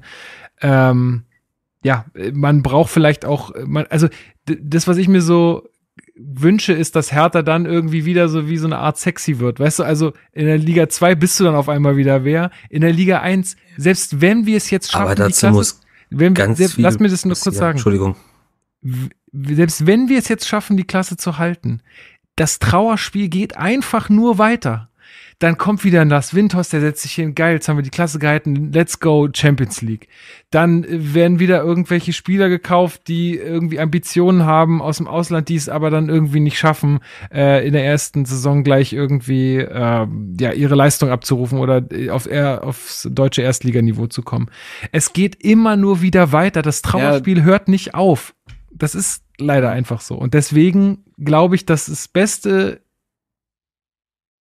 ich weiß nicht, ich will es fast gar nicht aussprechen, aber ich glaube, es wäre tatsächlich echt das Beste, wenn Hertha mal runtergeht und wenn Hertha sich da mal irgendwie neu aufstellt. Und klar, der Wiederaufstieg wird dann sicherlich nicht zu machen sein. Gar keine Frage. Und ja, vielleicht, wenn man richtig scheiße arbeitet, dann wird man auch durchgereicht. Keine Ahnung. Aber ich glaube nicht, dass man diesen Verein in irgendeiner Art und Weise gesund kriegt äh, also in der ersten Liga. Das wird nicht passieren. Also so oder so muss dazu ganz, ganz viel passieren. Vor allem, dass er ja nicht nur gesund wird, sondern irgendwie wieder ein Verein wird, wo wir sagen können, das ist der Verein, von dem wir Fan sind. Ne? Also ich habe das Spiel mhm. am Samstag mit einem Kumpel zusammen geguckt und irgendwann kam meine Freundin nach Hause und schaut uns an und fragt uns, warum wir überhaupt von diesem Verein Fan sind. Und da muss ich erstmal wirklich drüber nachdenken, was es für mich bedeutet, ein Fan zu sein und warum Hertha, ja. Und das sind eben ähm, ja, Überbleibsel aus einer Zeit, die es nicht mehr gibt, aber die Hertha irgendwie immer ausgemacht hat. Das hat angefangen mit Prez und Marcelinho, hatte danach geile Spieler wie Voronin, Pantelic, Simonic, Dardai, Neuendorf, alle mit Hertha-DNA und danach eben diese junge Generation mit Boateng, Patrick Ebert, Dejaga, ja. Und irgendwann ist das aber immer so ein Stück weiter zurückgegangen dann hatten wir wenigstens noch Dardai als Trainer. Letztes Jahr dann wieder Friedrich dabei, der uns geholfen hat, den Abstieg zu verhindern. Aber jetzt gerade ist davon ganz, ganz wenig da. Also der Kader, da ist kaum ein Spieler, wo ich sage, okay, das ist äh, ein Spieler, mit dem ich mich identifiziere. Das Einzige, was im Moment da ist, sind die Fans, die sich nicht geändert haben seitdem. Ja. Es ist natürlich dein, also natürlich kannst du mit den Spielern dich auch kaum identifizieren, weil du keine gemeinsamen Erfolgserlebnisse hattest. Das ist der absolute Kleber. Du hättest dich auch mit einem Bassstück nicht identifizieren können, wenn der nicht in der Mannschaft gewesen wäre, die funktioniert und wo auch er glänzen kann. Also das ist natürlich etwas, was sich immer auch gegenseitig bedingt. Also das ist ja auch in der Mannschaft so. Du kannst als Mannschaft nur zusammenwachsen, wenn du gemeinsame Erfolgserlebnisse hast, wenn du positive Dinge mit deinen Mitspielern verbindest, wenn ihr ein Selbstverständnis zusammen entwickelt. Nur darüber funktioniert es. Ist, das ist so einfach wie auch blöd, weil Hertha dieses Erfolgserlebnis ja nicht bekommt. Aber genau das ist es doch. Wie startet ein Lauf? Naja, indem man irgendein Spiel gewinnt und dann funktioniert's halt. Also beispielsweise Mainz die standen am Abgrund und die haben mit Bo Svensson einfach einen fantastischen Trainer gewonnen, der ein Momentum kreieren konnte und von dem leben die heute immer noch. Ich sag nicht, dass es mit einer Niederlage brechen die ja offensichtlich nicht mehr ein, aber das verhärtet sich ja irgendwann. Das ne? ist das Fundament. Aus, ja. aus Selbstverständnis wird auch dann irgendwann Qualität, weil die können ja alle kicken, sonst wären die keine Profifußballer. Daran scheitert es ja nicht. Das ist ja bei Hertha mittlerweile komplett im Kopf angekommen. Da hat auch Thomas Bräuch übrigens bei Hertha TV drüber geredet. Übrigens würde ich euch allen sehr ans Herz legen, so ein angenehmer Gesprächspartner, so aufgeräumt, so clever, so eloquent. Gebt euch das. Ist der nicht Trainer? Und dann, nee, der ist Leiter, na, was ist denn der? Ah, Leiter mit, Leiter Methodik. Ah, ja. Ja, nee, ja, der arbeitet gerade in der Jugendakademie und soll dann halt in den Jugendjahrgängen quasi so eine übergreifende Position haben. Schade. Ähm, aber ja, gebt euch das gerne mal. Aber der ist ja auch lange Profi gewesen und spricht auch davon, dass er ja sieht, was, er da, was da passiert und dass das einfach so krass in den Köpfen verhärtet ist. Und zusätzlich ist es natürlich so, dass auch Corona dazu geführt hat, dass dieses Verhältnis zwischen Fans und Verein oder Mannschaft total erkaltet ist. Gewisse Spieler, Matteo Gendosi, der hat nicht einmal vor Hertha-Fans gespielt. Also, wie soll da, wie soll da eine Verbindung entstehen? Wie soll da eine Identifikation bestehen? Das Einzige, was gerade passiert, und jetzt kommen langsam Fans und die ärgern sich natürlich nur noch über die Versager, die da auf dem Feld stehen. Jetzt, also ich sage nicht, dass es Versager sind, aber das ist ja manchmal die Gefühlslage. Also natürlich kannst du kein Fan dieser Mannschaft sein. Wie soll das gehen? Du siehst sie ja jede Woche verlieren, du siehst sie die Köpfe runtergehen. Das merkt man doch auch, ob man bei einem Tor mitgeht oder nicht. Gegen Wolfsburg, Nee. äh, Wolfsburg sage ich schon, gegen Dortmund sind alle Leute mitgegangen, weil die gemerkt haben, ah, da steht irgendwie eine Mannschaft im Feld, die strahlt was aus, die hat Leidenschaft, aber teilweise schießt Hertha ein Tor, auch gegen Union im Pokal, könnte nochmal rankommen und es regt sich in einem absolut gar nichts mehr, weil du merkst, dass diese Mannschaft eigentlich nicht lebt und dass dieses eine Tor daran nichts verändert. Ja, ja, aber also wir waren jetzt die letzten Jahre nicht unbedingt von Erfolg verwöhnt. Und trotzdem hatte ich durch eben zum Beispiel einen Dardai oder einen Prez, auch wenn der äh, viel schlecht gemacht hat, aber trotzdem waren das Personen, die ich irgendwo für mich noch, die für mich wichtig waren noch irgendwie, ja, als Fan. Und jetzt gerade werden aber diese Personen auch Stück für Stück gegangen. Und dann ist die Frage, was dann noch übrig, übrig bleibt, ne? Also, wenn jetzt Arne Friedrich auch weggeht, und das, das, das hatte ich, glaube ich, in meiner ersten Podcast-Folge auch so ähnlich gesagt. Wenn all diese Menschen weggehen, die noch irgendwie ein Stück von dem hatten, was für einen wichtig war, dann wird's mir langsam auch irgendwie egal. Und das ist halt extrem schade, ne? Also, wenn Ja, weil er auch halt nicht nachkommt. Das ist das Genau, Problem. eben. Es, äh, also, Eben. ne? Also Ja, das Problem ist ja weniger, dass Leute gehen, weil das wird immer passieren. Ja, das klar. Problem ist, dass aufgrund der Krise nichts mehr nachkommt an Identifikation. Ja, und das ist Genau. ja, und das ist ja das, was ich meine. Ich glaube, dass das auch zunehmend schwieriger wird für Hertha BSC in der ersten Liga. Vor allen Dingen, weil du dich einfach schon, du bist so tief unten drin, schon letzte Saison gewesen. Und ich glaube, dass das nicht besser wird. Also noch, noch eine Sache zu dem, zu der Verbindung zu den Spielern. Die werden ja auch immer profilloser. Also das hat natürlich auch was mit dieser Professionalisierung zu tun, ne? Die posten alle denselben Shit nach dem Spiel. Es sind immer dieselben Phrasen in Interviews. Da ist ja kaum jemand dabei, den du irgendwie mal erlebst. Man ist ja schon mal froh, wenn es dann mal irgendwie ein bisschen persönliche Einblicke gibt. Aber auch da ist es ja alles möglichst geskriptet. Äh, so, es ist ja nie irgendwie, also alle Ja, Leute finden Max Kruse so geil, weil er äh, Ja. irgendwie nachts äh, im Online-Casino äh, Shisha rauchend da irgendwie rumlabert. Oh, Lukas. Ja, ja, ich Vorsicht. weiß, ich weiß. Vorsicht. Ich weiß, ich weiß, das ist so ein bisschen ein schwieriges Thema. Aber ähm, ihr wisst, was ich meine. Ja, also das ist auch klar, wenn, wenn du Aber immer es nur muss ja nicht unbedingt ein Skandalspieler sein, um jetzt zu sagen, Nee. dass der so, also wenn ich an Lustenberger denke, ich glaube, der hat sich, der war jetzt nicht super erfolgreich bei uns, würde ich sagen. Aber den hat jeder geliebt, weil der einfach immer da war, wenn man ihn brauchte. Genauso wie das Gelbrett, ja. Und die, das waren jetzt auch keine Spieler, wo ich gesagt hätte, die geben jetzt irgendwie tolle Interviews oder sowas. ja, doch, die waren schon lustig.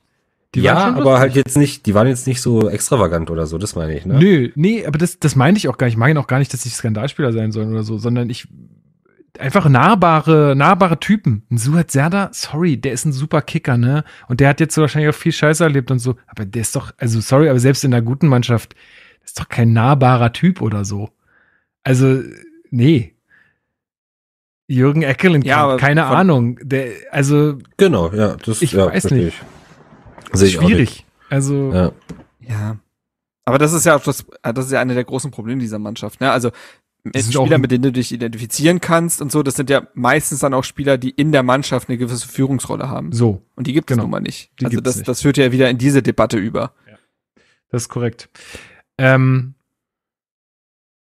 Tja. tja, wie machen wir, Wie, Hm. wie machen wir jetzt weiter? Nein, aber also, aber ihr versteht meinen Punkt, oder? Diese, diese Sache, ich, natürlich will ich nicht, dass Hertha BSC Genau. absteigt. Ich würde mich freuen, wenn wir es hinkriegen. Aber ich glaube halt, dass es ein, meinst. ein ewiges, ein ewiger Kreislauf sein wird, Ja. ähm, wenn, wenn da nicht irgendwas mal durchbrochen wird, so. Und Ich verstehe den Punkt, aber der muss bitte auch meiner Meinung nach Bobic gehen. So, das wäre jetzt meine Frage gewesen. Was passiert denn mit Freddy Bobic, wenn dieses äh, Kommando Magath jetzt hier nicht klappt? Ich glaube, er bleibt. Also im Kicker stand ja jetzt, dass äh, sein Vertrag auch für die zweite Liga galt. Das war ja bislang immer so komisches Thema, ne, was nie so ganz klar beantwortet wurde. Aber ähm, er hat äh, einen Vertrag für die zweite Liga. Es heißt auch, auch da beziehe ich mich auf den Kicker-Artikel, dass er jetzt nicht Reise ausnehmen würde, wenn Hertha absteigt. Ähm, und dass man ihm auch, dass auch Hertha, äh, oder das Präsidium in dem Fall, ähm, ihm weiterhin diese Rolle als Architekt des Neuaufbaus zutraut. Ähm, natürlich hat er un, also hat bei einem Abstieg noch mehr, aber hat er auch jetzt schon unglaublich viel Kredit verspielt. Das ist gar keine Frage. Die äh, Hoffnungen, die mit seiner Personalie verbunden gewesen sind, sind vollständig erloschen, glaube ich. Ähm, mein Problem ist, dass ich nicht sehe, wer es machen soll. Also, ich finde besonders, also wenn wir uns das schon bei Trainern fragen, ich finde besonders die Position des sportlichen Verantwortlichen, nenne Sportdirektor, Geschäftsführer Sport, was auch immer, Sportvorstand ist ja Bums, ähm, diese Rolle ist sehr, sehr schwer zu bewerten und sie ist sehr, sehr schwer personell zu besetzen. Also, man müsste mir die Person erstmal zeigen, die Freddy Bobic ersetzen soll. Und ich glaube, dass eine Managerrolle auch ein Stück weit von Zeit lebt. Jetzt hat Bobic seinen Anfang wirklich komplett vergeigt. Das ist vollkommen klar. Aber ich glaube, dass diese Rolle so, so, so komplex ist und so weitgreifend, dass diese Person auch erstmal in diese Rolle auch in neuen Vereinen trotz einer gewissen Erfahrung reinwachsen müssen und vielleicht auch aus Fehlern dann lernen müssen. Also äh, Michael Preetz, wir wissen alle, wie seine Anfangszeit gewesen ist mit zwei Abstiegen und so. Und wir wissen auch, wie es geendet ist. Aber seine beste Phase hatte er dann ja, als er dann mit Paul Dardai seinen Trainer gefunden hat, wo man dann in eine Richtung gearbeitet hat. Man hat kluge Kaderentscheidungen getroffen, man hat mit der Jugend gearbeitet, das wirkte nachhaltig. Das ist konnte, das musste sich aber Preetz erstmal raufschaffen und Bobisch ist natürlich, wie gesagt, erfahrener, aber er ist neu in diesem Verein. Und ich glaube, dass kein Weg dran vorbeiführt, als dass man mit ihm weitermachen sollte, weil er auch gesehen hat, was eben nicht funktioniert. Und ein neuer Manager, wer funktioniert da auf Anhieb? Ja. Aber ich sag's Könnte euch auch. so eine, sorry, sag gerne, ja, Puma. ich könnte mir so eine Kombi aus Jens Lehmann und Jürgen Klinsmann vorstellen. Oder? Hm. Beiden kann Experten. der meinst Tenor vielleicht auf der nächsten MV vorschlagen. Ja, genau. Nee, aber ich muss euch auch ganz ehrlich sagen, und ich hatte es ja äh, ganz am Anfang der Folge, und die geht ja jetzt auch schon ein bisschen äh, gesagt, ich will einfach Spaß an Hertha haben, so. Und Ja. wenn das bedeutet, dass wir in der zweiten Liga gegen hoffentlich irgendwann mal wieder Kaiserslautern, gegen Hansa Rostock, gegen Werder Bremen, gegen den HSV, gegen Sch- Kommt gegen er hier hoch nach 04, Greifswald? gegen, Geil. weiß ich nicht, gegen Magdeburg bald, wenn wir gegen so äh, äh, Mannschaften spielen und mir das einfach Spaß macht, so wie es mir auch die letzten äh, beiden Zweitliga-Jahre Spaß gemacht hat, da bin ich echt okay damit. Da bin ich wirklich okay damit. Und ich, äh, das klingt jetzt alles sehr, sehr fatalistisch und sehr alles so, das hat ja eh alles keinen Sinn mehr und äh, ich habe mir hätte, hätte mich jetzt schon krass damit abgefunden, dass wir absteigen. Aber ich denke halt auch nur darüber nach. Ich habe ja, ich habe ja mal eine Zeit lang in Nürnberg gelebt ähm, und die mussten das auch, die mu mussten das auch ganz krass erfahren mit dem Club, dass sie halt also ihr glorreicher FCN, der Pokalsieger, bla bla bla, dass der einfach mittlerweile eine Zweitligamannschaft ist und das und dass die auch erstmal auf lange Sicht nicht mehr in der ersten Liga teilnehmen werden so. Das mussten die auch ganz äh, schmerzvoll ähm, erkennen und ich weiß nicht, also keine Ahnung, ey. ich kann mir gerade nicht so vorstellen, unnötig. wie dieser ganz durch durch und durch verkorkste Verein wie der es schaffen soll, in der ersten Liga äh, zu bestehen und dass er Spaß macht, weißt du? Dass, der, Ja. dass dieser Verein Ja, ja. einfach mal wieder Spaß macht. Es ist nur so extrem unnötig, ne? Also im Endeffekt gut, Bobic rechtfertigt sich die ganze Zeit damit, dass es eben finanzielle Aspekte hatte, wie er den Kader zusammengestellt hat. Ob das so stimmt, also ich weiß es nicht. Ähm, Im Endeffekt ging es da schon aber los, der Kader war ja nicht schlecht von den Namen her. Dass er zu teuer war, das ist das eine. Aber vielleicht hätte man mit anderen Änderungen den Kader besser ausbalancieren können. Ähm, und damit ging es los, dass so unnötige Fehleinschätzungen getroffen worden sind, die uns dahin führen, wo wir sind. Und deswegen, ja, kann sein, dass Bobic bleibt, auch in der zweiten Liga. Ich wünsche es mir aber nicht mehr. Weil er so viele schlechte Entscheidungen getroffen hat, die uns so unnötig in eine schlechte Situation geführt haben, dass ich mir das nicht für die zweite Liga wünsche. Nicht für so einen Neuaufbau, wie du ihn gerade beschreibst, wo man sich wirklich drauf freuen kann.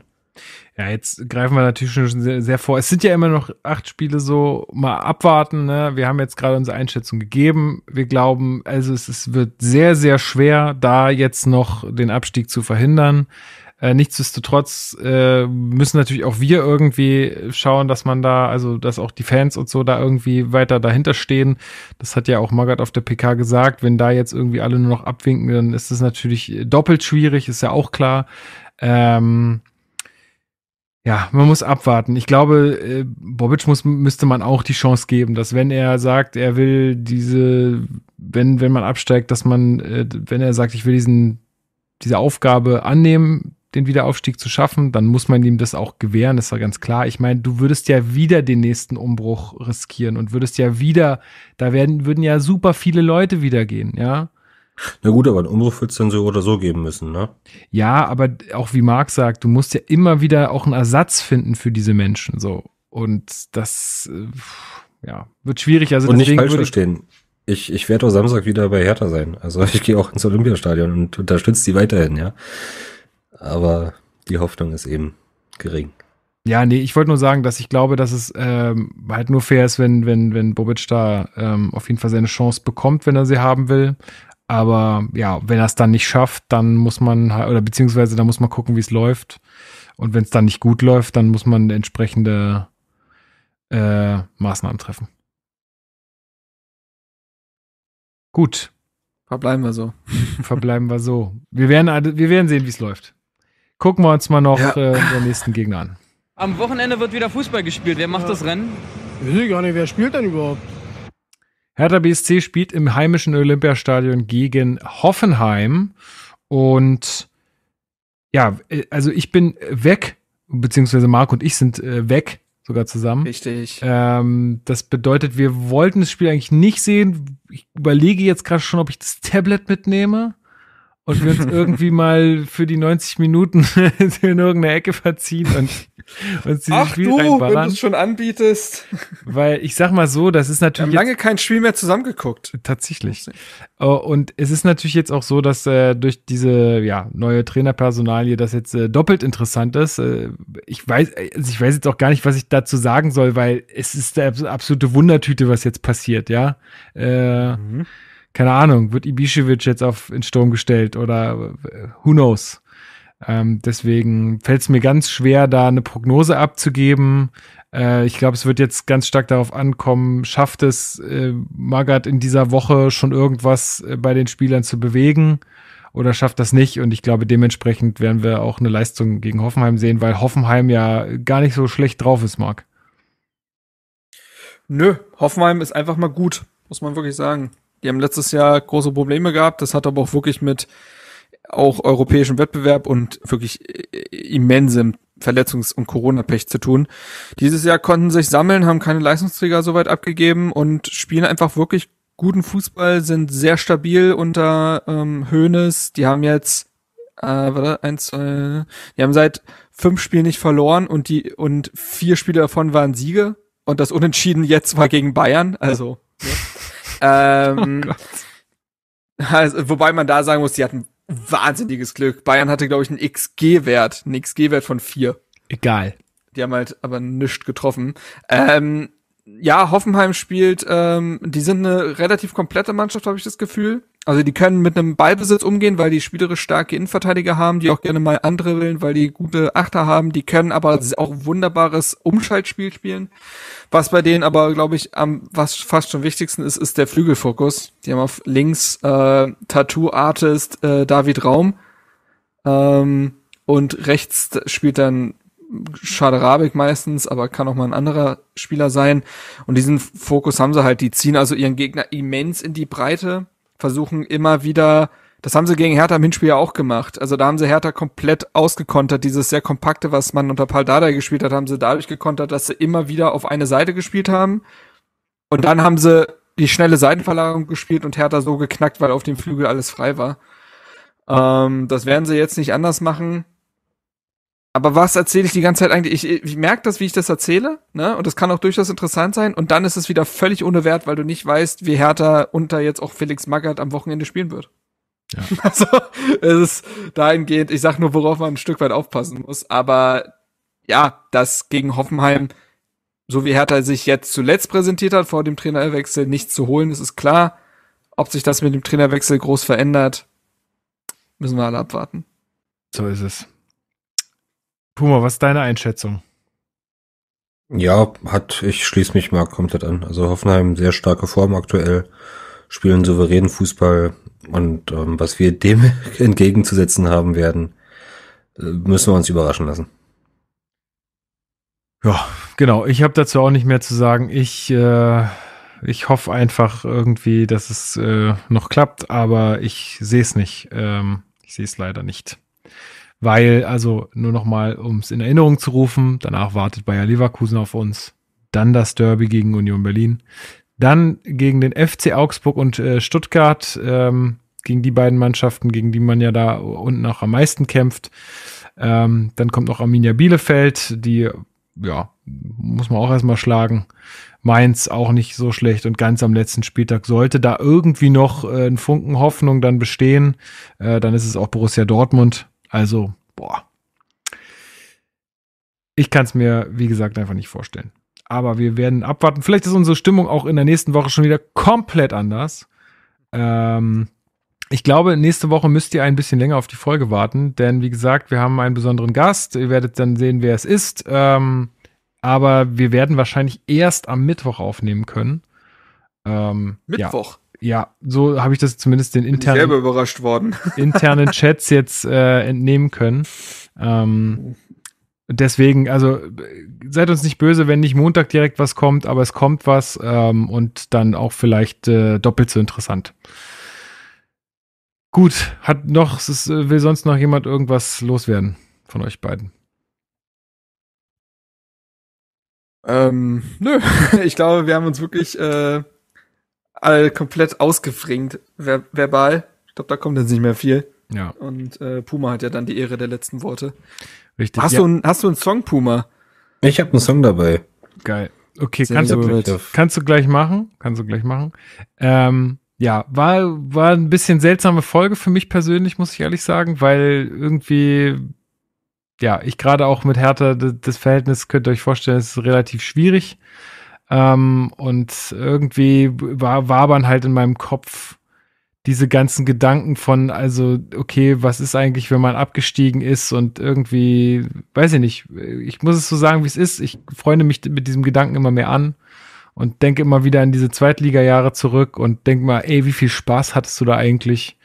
Und ähm, ja, keine Ahnung, ich kann mich, kann mir da irgendwie gerade selbst kein klares Bild machen, aber ich hoffe natürlich, dass es noch irgendwie klappt.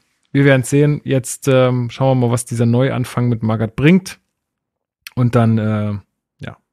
Wir werden es sehen, Marc. Wir gucken das Spiel einfach zusammen. Wir müssen nur hoffen, dass der Internetempfang da hält, wo wir, wo wir hinfahren. Oh ja. Oh ja. Aber ansonsten, äh, ähm, ja, schauen wir uns das zusammen an. Ich danke dir äh, sehr für deine Teilnahme wieder heute Abend. Und gerne, ähm, gerne. Ja, danke. Und äh, dann äh, darf Puma euch jetzt in den Tag entlassen ähm, und mit den ikonischen Worten äh, hoffentlich enden und seinen Song natürlich noch präsentieren.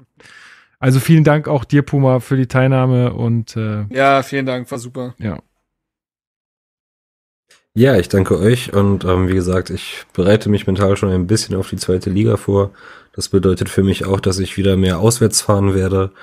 Und wenn wir Berliner auswärts fahren, dann sollte man das auch erkennen. Und deswegen packe ich den Song Wenn wir kommen von Bushido auf die Playlist. ähm, und ansonsten, genau, ende ich mit den Worten Hertha till I die. Na, und auf eine bessere Zukunft. Hau he. Ha!